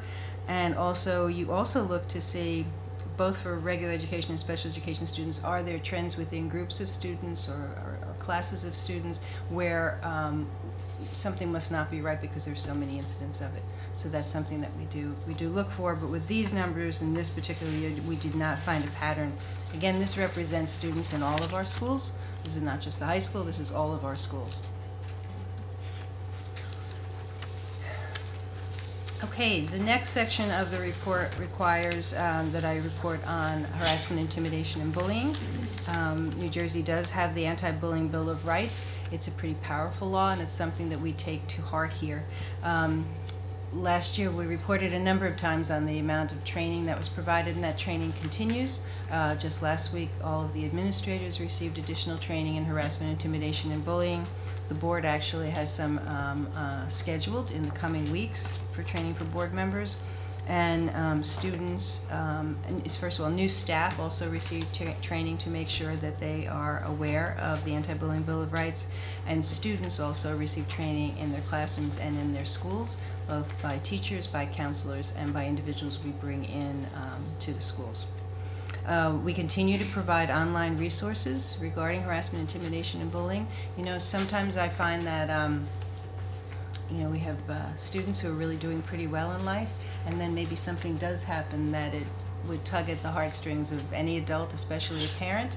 So we need to have that information online so a parent can go to that when that incident happens. Let's just say it's a Saturday afternoon, that they can get some guidance as to, to what might be good for them to do with their with their uh, with their child to address an issue. So we continue to provide online information. It's actually under the the parent tab on the website, and if you look there, there is information regarding bullying prevention. And we continue to have uh, ongoing meetings at each building of our school safety, safety teams um, to monitor, to look at the data that's being collected about bullying incidents, um, and to determine if there are some areas um, that need to be addressed. And in fact, last year, our school safety teams, especially in two schools, were able to identify a pattern um, where they needed to address um, in in those two instances, there were small groups of students who had just developed a really bad way of interacting. Um, they um, they just gotten into bad habits, truthfully. And so we worked with those students and with the parents also about what are positive ways to interact, um, as opposed to writing things on the internet or twittering things um, that were negative about others. Um, so um, that was a focus in two of our schools last year. So if you look when the, uh, the second column under the number of invest- investigations for harassment, intimidation, and bullying, when the law first went into effect in the beginning of the school year, uh, not just Westfield, but districts across New Jersey saw quite a large number of incidents. Um, we had 50, and by the um, by January to June, that number of reported investigations had gone to 26. I do think a lot of that had to do with the training that we provided, uh, with more students understanding that we were taking this seriously and that they were being investigated, and perhaps some students stopped and thought twice. Um, and I think also in the very beginning, there were also people who perhaps were misusing it just a little bit, and they learned that what the harassment, intimidation, and bullying law was. So I think there were two pieces that changed the numbers. Out of all those investigations, out of the 26 investigations, eight of them were determined to have been harassment, intimidation, and bullying. And let me be clear on something. Out of the 26, we certainly found that there were some things that were wrong, but they might not have been harassment, intimidation, and bullying. There might have been somebody um, being dis- disrespectful to someone. There might have been someone who used inappropriate language, but it wasn't bullying. So they, those students who did something wrong, still received consequences. It was just not a determined to be a harassment, intimidation, or bullying case. But there were eight of them where it was determined that, in fact, a child had felt intimidated or bullied. And um, all of those were conducted within the 10 day investigation period that's required. And all of those uh, were brought to the uh, Board of Education and they affirmed those decisions. By the way, every harassment, intimidation, and bullying investigation does come before the board at the end of the process. Um, but that number eight just says that of the eight that were confirmed, they were all confirmed by the board. That's what that number indicates there. All right, also under harassment, intimidation, and bullying, um, the, the anti-bullying bill of rights um, requires that there be a characteristic that is being used by the bully um, against a student. That, that a student is being picked on, bullied, intimidated because of a characteristic or perceived characteristic. Um, our numbers here actually are somewhat similar to the state, and you'd certainly look for patterns here. The second half of the year last year, we had one student where uh, they were um, bullied because of their race. The other issues did not come up during the second half of the year. Gender, we did have two um, issues, and if you note, the beginning of the year, we had five. This is actually an area that's not quite a trend, but we are looking at, because there were um, some, um, some girls who were picked on because they were, uh, they were picked on by boys because of their gender. So not a, not a full trend, but something we were monitoring. Sexual orientation was one. Uh, mental, physical, or sensory disability, there were two instances of that. And then other distinguishing characteristics were five. If you looked at the state data that was released just a week or two ago, by far the largest category was other distinguishing characteristic. By far, that was the highest number. And looking at what district responses were, it included individual counseling and student conferences and parent conferences. Now, I think sometimes people don't realize that is still a big deal to have a parent conference. I think people think that it was only years ago where your parent took it seriously when they came in. Not the case. It, it is a big deal when your parent is called in, has to meet with the principal, and talking about uh, behavior that's not acceptable. Uh, it, it truly is uh, powerful in almost every instance suspensions and suspension of privileges. Suspension of privilege is certainly different whether you are in second grade or you are in 11th grade or middle school, um, but those can be very powerful as well. If you're a second grader and you're not allowed to go to lunch for two days, that is monumental. you know. Um, and part of it, if you're really trying to get someone to change, is figuring out what does matter to that person and what can you do that's going to get the message in, no, that's not acceptable. That's not acceptable here. Okay, and then they looked at uh, what is the mode or type of harassment, intimidation, and bullying. That electronic communication, there are days where I would have liked to have been a superintendent before any technology. While I love it, um, it is difficult when young people have all kinds of technology in their hands, and it is so easy to hurt somebody very quickly. Uh, it used to be you could write a note and pass it to your friend, and maybe three people saw it. Well, now there's so many things you can do electronically, and all of a sudden, a couple hundred people saw it. Um, so that is something we provide constant um, reminders to students and assemblies to students. And when they're at the computers, we remind them. And I'm sure parents are doing the same thing, but it's an ongoing uh, project. And very, very important, every school has its own anti-bullying specialist. Um, They are certainly a key contact person whe- for either students or for parents or for anyone who has either questions or something to report. Um, This is posted on our website, but if ever someone does not know and does not remember who the anti-bullying specialist is, please just tell an adult in the school or in the district, and we will make sure we address it quickly. But um, that is posted in number, numerous places because when a child is feeling intimidated or bullied, it is important, and we need to know that quickly, and we need to figure out a way to stop that, so that child feels safe, and that um, child can do what they're supposed to do in school as opposed to being intimidated. It's, it's very important work, so please make sure we know if you're aware of anything.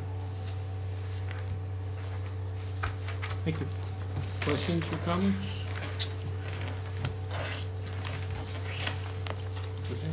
Um, I know this is the, required by the state, Yes. but, um, I want more information, um, maybe not tonight, um, on what the school level safety teams are finding about the climate of the schools, um, what their plans are to address needs or support students and teachers and everybody in the building treating each other with respect. And climate surveys, not only per school, but per district, I just wanna bring that up again.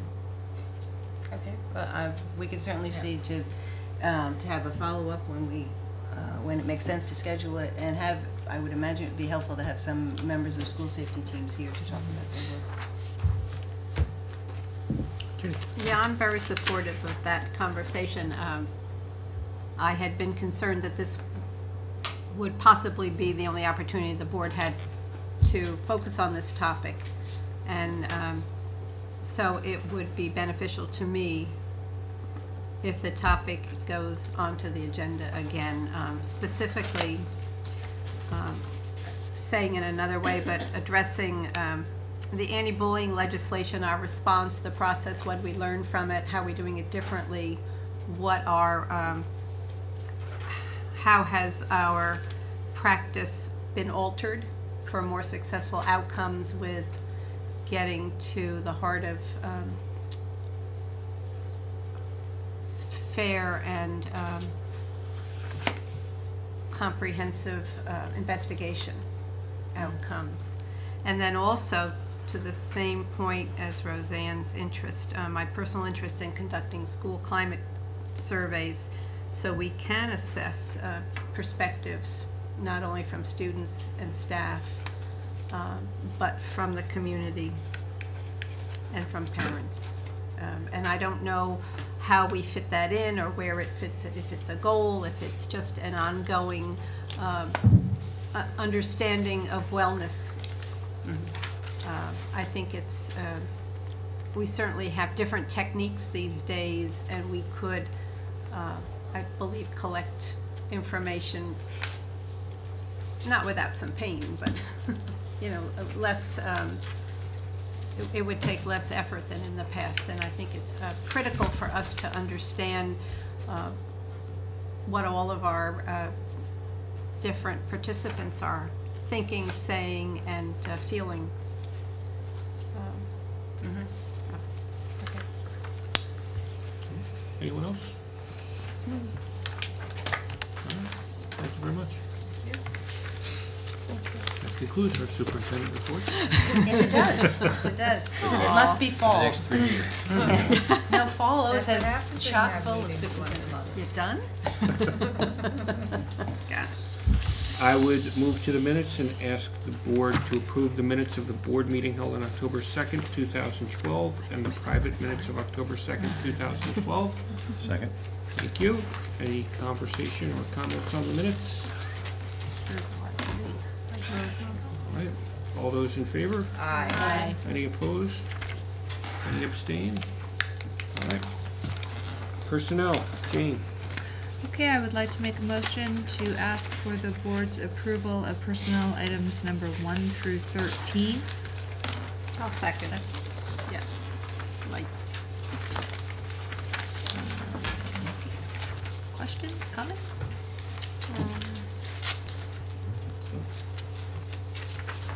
Yes, question number seven, the additional twenty percent compensation. Sorry, I don't know the individual, so I don't know what Mark class. Lazaro? Lazaro. I believe that's for, um, is that advanced debate? Is that correct?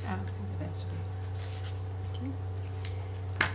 And number 12, I want to thank you for stating that we're paying for the substitute nurse for the overnight field trip out of funds reimbursed from field trip money.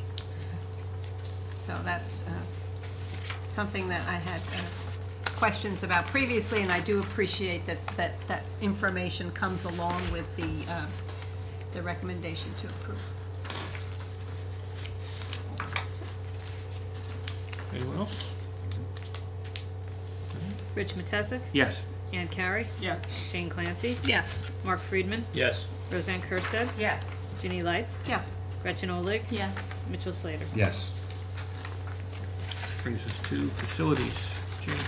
No additional information. All right. Long-range planning, Jenny. I regret to say I don't have anything still on the Regret. calendar. We're, we're busy, I think, doing the right things, and um, we'll get back on the calendar as soon as we can. Thank you very much. Policies, Roseanne. Um, I'm gonna, we're gonna table these for first reading, if that's okay, because of Yep. the length of the meeting and the things we have afterwards. All right, how about the And, uh, oh item wait, I'm one? sorry, if you The do have final- comments, if you, if you do have comments, uh, maybe you can email them to me, um, before our next meeting, so I can run them by Dr. Dolan and the committee, policy committee, so we can have clean copies for first reading, um, next meeting. Ah, I do have to, we do have to approve, however, for final reading, the following policies, which are six four two two budget transfers, six four two four emergency contracts, and nine one three zero public complaints and grievances. Second. Questions or comments? Questions, comments? Rich Mattesich? Yes. Ann Carey? Yes. Jane Clancy? Yes. Mark Friedman? Yes. Roseanne Kurstedt? Yes. Ginny Lights? Yes. Gretchen Ohlig? Yes. Mitch Slater? Yes. Excuse me, Rich, for completeness, um, I'd really love to have a vote on tabling the second Oh, item. Okay. I would, I move to table item number two in policies, and I will bring forth those for first reading at our next board meeting. And I'll second. Rich Rich Mattesich? Yes. Ann Carey? Yes. Jane Clancy? Yes. Mark Friedman? Yes. Roseanne Kurstedt? Yes. Ginny Lights? Yes. Gretchen Ohlig? Yes. Mitch Slater? Okay. Yes. Just thought I'd think about it. Good. Curriculum, instruction, and programs, Ann. Yes, thank you. I would ask the board to approve the 2012-2013 nursing plan. May I have a second? I'll second that. Thank you, Jeannie. You're welcome. Um, this is a plan that we approve every year. Um, uh, just, does anyone have any questions on it? Seeing no questions, we can vote. Rich Mattesich? Yes. Ann Carey? Yes. Jane Clancy? Yes. Mark Friedman? Yes. Roseanne Kurstedt? Yes. Ginny Lights? Yes. Gretchen Ohlig? Yes. Mitch Slater? Yes. Okay. And I would ask the board to approve for first reading the following curricula under world language, Italian one, two, and four. May I have a second? Second. Jane, thank you. Um, curriculum met last week and we reviewed the revisions for these Italian courses. And, um, I would, I'm just happy to report how many kids take Italian. We have 227 students in the Italian program, and I just, I thought that was a lot, and I think that's great. I just wanted to share that. Um, we have three sections of Italian one, three sections of Italian two, two sections of Italian three, one section of Italian three honors, and one combined section of Italian four and four honors. So they continue to take Italian um, through senior year, which also I think is great. And basically, these are just revisions. Each course was updated to align with the New Jersey Core Curriculum Content Standards and the American Council on the Teaching of Foreign Languages. Does anyone have any questions on that? Okay, we can vote on that too then. Rich Mattesich? Yes. Anna Carey? Yes. Jane Clancy? Yes. Mark Friedman? Yes. Roseanne Kurstedt? Yes. Ginny Lights? Yes. Gretchen Ohlig? Yes. Mitch Slater? Yes. Anything else? Nope, that's it, thanks. Moving to finance and noting we've already approved resolution number one. I ask the board to consider resolutions two through nineteen. For a second? Second. Thank you. I would note, uh, item nineteen, a monetary gift from Brad and Carrie Phillips to Franklin Elementary School for the purchase of iPads for the resource rooms for teachers and classrooms, with any leftover funds to be used to purchase books for the resource rooms. We thank you very much for that donation. Um, I would also, uh, just ask, um, Dana, on item, where did we go? On the, uh, five-year, fa- on the facility plan, uh, recommendation? Can you just distinguish that from the five-year plan? So I, I think that to me was more ongoing maintenance and the things that might be in Mike's budget every year. Right. The- Distinct from what we keep talking about as boilers and bathrooms and everything else. Is Right, that that's accurate? correct. That's, the the comprehensive maintenance plan is what is in here, and it's actually, it shows three years, so it shows prior year, the current year, and next year's projection. Um, and that also is, is going along with the M one, which is the required maintenance form. So there's a minimum amount that you must budget in your operating budget for maintenance, which is what's on that M one form. Um, and then you can budget more than that, um, which we typically do and probably will continue to do. Um, and these are, these are just estimates and plans, um, for now. Obviously, when you get to budget time, um, these numbers may change for thirteen, fourteen. Okay, thank you. And then separately, uh, there were a few resolutions that dealt with uh, what I'll call cleanup of prior minutes or uh, secretary reports or fund balances, which look like, kind of from the beginning of your tenure a few months back, is, is just making adjustments to get the balances to where they should be. Is there any overriding comment there, or? No, the, the adjustments were mainly to June, um, but because we made adjustments that, that changed our final numbers for June, um, that also would change our beginning numbers in July. Um, For so every that's month, why- right. Right, and that's why we have July and August that are now, um, coming to you for re- resubmission.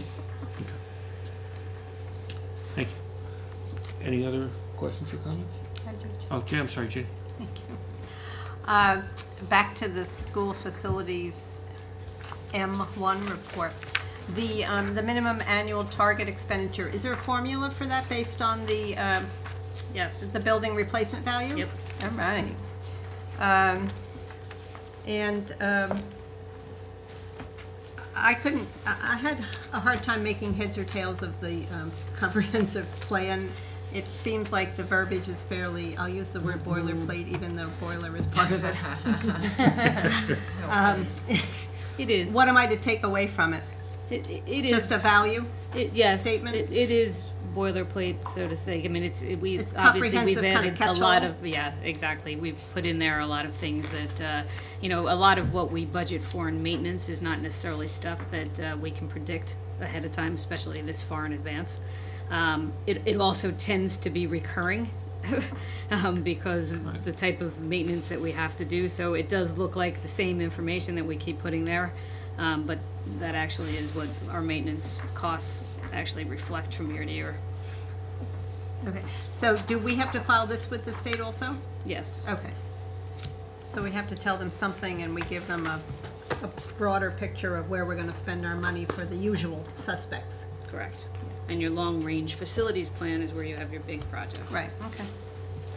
Um, Yeah.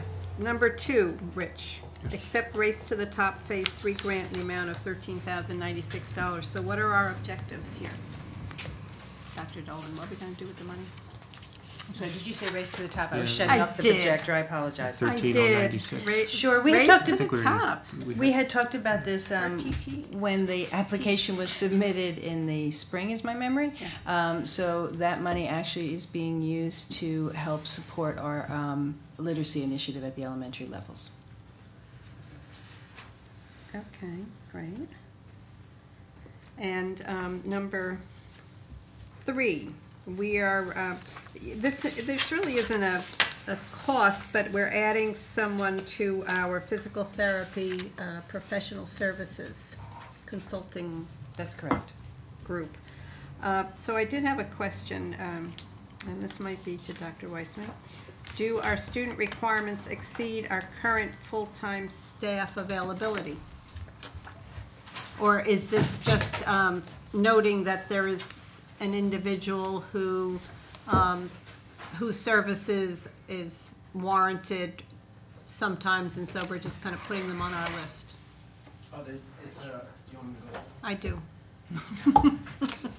In other words, is there a trend here, or is this just uh, kind of putting somebody in the Rolodex? No, yes. From time to time, we need additional providers, so we so we add them to our list. Okay. Um, we actually had one provider retire last year, so we, we like to have a, a nice number of uh, providers so that we can go to somebody in the event that we have overflow or in a special case, or if somebody specializes in a particular area. So Okay, that's, that's thanks. You're welcome.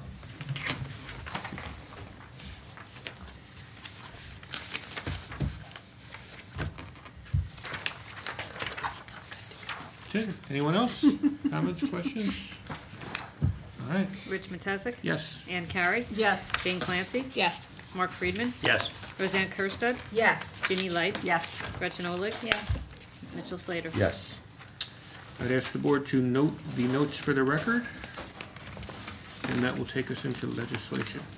No report. Thank you. Any unfinished business of the board? Any new business? Ad hoc committee reports. Just very briefly, that, uh, I'll tie it into the liaison. I met, I was at the high school PTSO I mentioned earlier, and uh, obviously technology was a big part of the discussion, and things are going very well. And uh, just one or two things I thought I would point out is that uh, they've been bringing Apple um, to do some training sessions, and they actually have a, had a Genius Bar Day um, with all the teachers. Um, And they're, you know, taking, breaking it down as far as the iPads with, you know, those that are novices, those that have worked with them before, and having separate training programs going on. I think most of that's going on this week. Um, and it's just been just really very successful. And I think the thing that impressed me the most um, in listening to Peter talk was the sharing that's going on between all of the different teachers, all of the different grades, and the excitement um, from some of the uh, more seasoned teachers learning from some of the younger teachers um, about things that they're putting together, especially some of the apps that they're working with, and and uh, so I really love how it's all gelling, and I think that was a big part of uh, um, the meeting itself. But figured I'd throw it in under the under ad hoc. Good, thank you. Anyone else? Where are we? Uh, we are now into liaison reports. Anyone there? Ginny? I'll let you do PTC. Would you like to do PTC, General? You're so good at it. Oh. All right. Well, then I'll. I'll second anything. All right.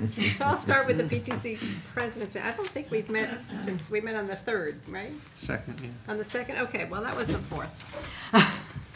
Um, uh, PTO presidents uh, meeting. Uh, Had a fascinating um, conversation, was this the time? Yes, My Food Days presentation, a, um, a, uh, a- a married couple talked about their um, uh, credit card uh, processing uh, software that allows schools to manage um, fundraising activity, um, and organizes uh, funds that uh, purchases, parent purchases, like pizza day, like um, apparel, school apparel sales, like uh, fun, any uh, Wrapping uh, paper, wrapping paper. Mhm. Yeah, Sally Foster.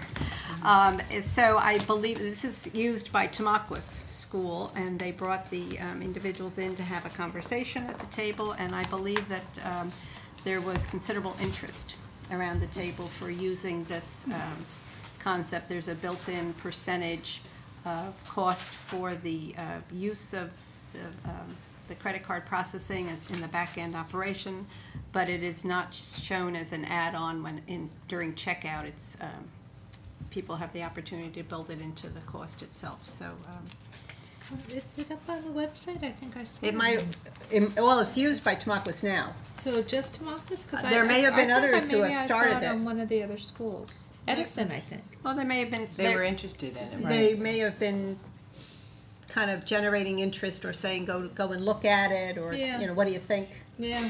Um, I know it's, for quite a while, we've been um, thinking about looking at, kind of contemplating, how can we make um, life digitally, electronically easier for uh, bill payment? Especially for, um, and also for organizing volunteer activities supporting these uh, various uh, situations. Apparently, this is a very easy way for the distribution of lists of parent groups that work at Pizza Day, what, you know, wh- which kids get what pizza, which- which drinks, what, so forth.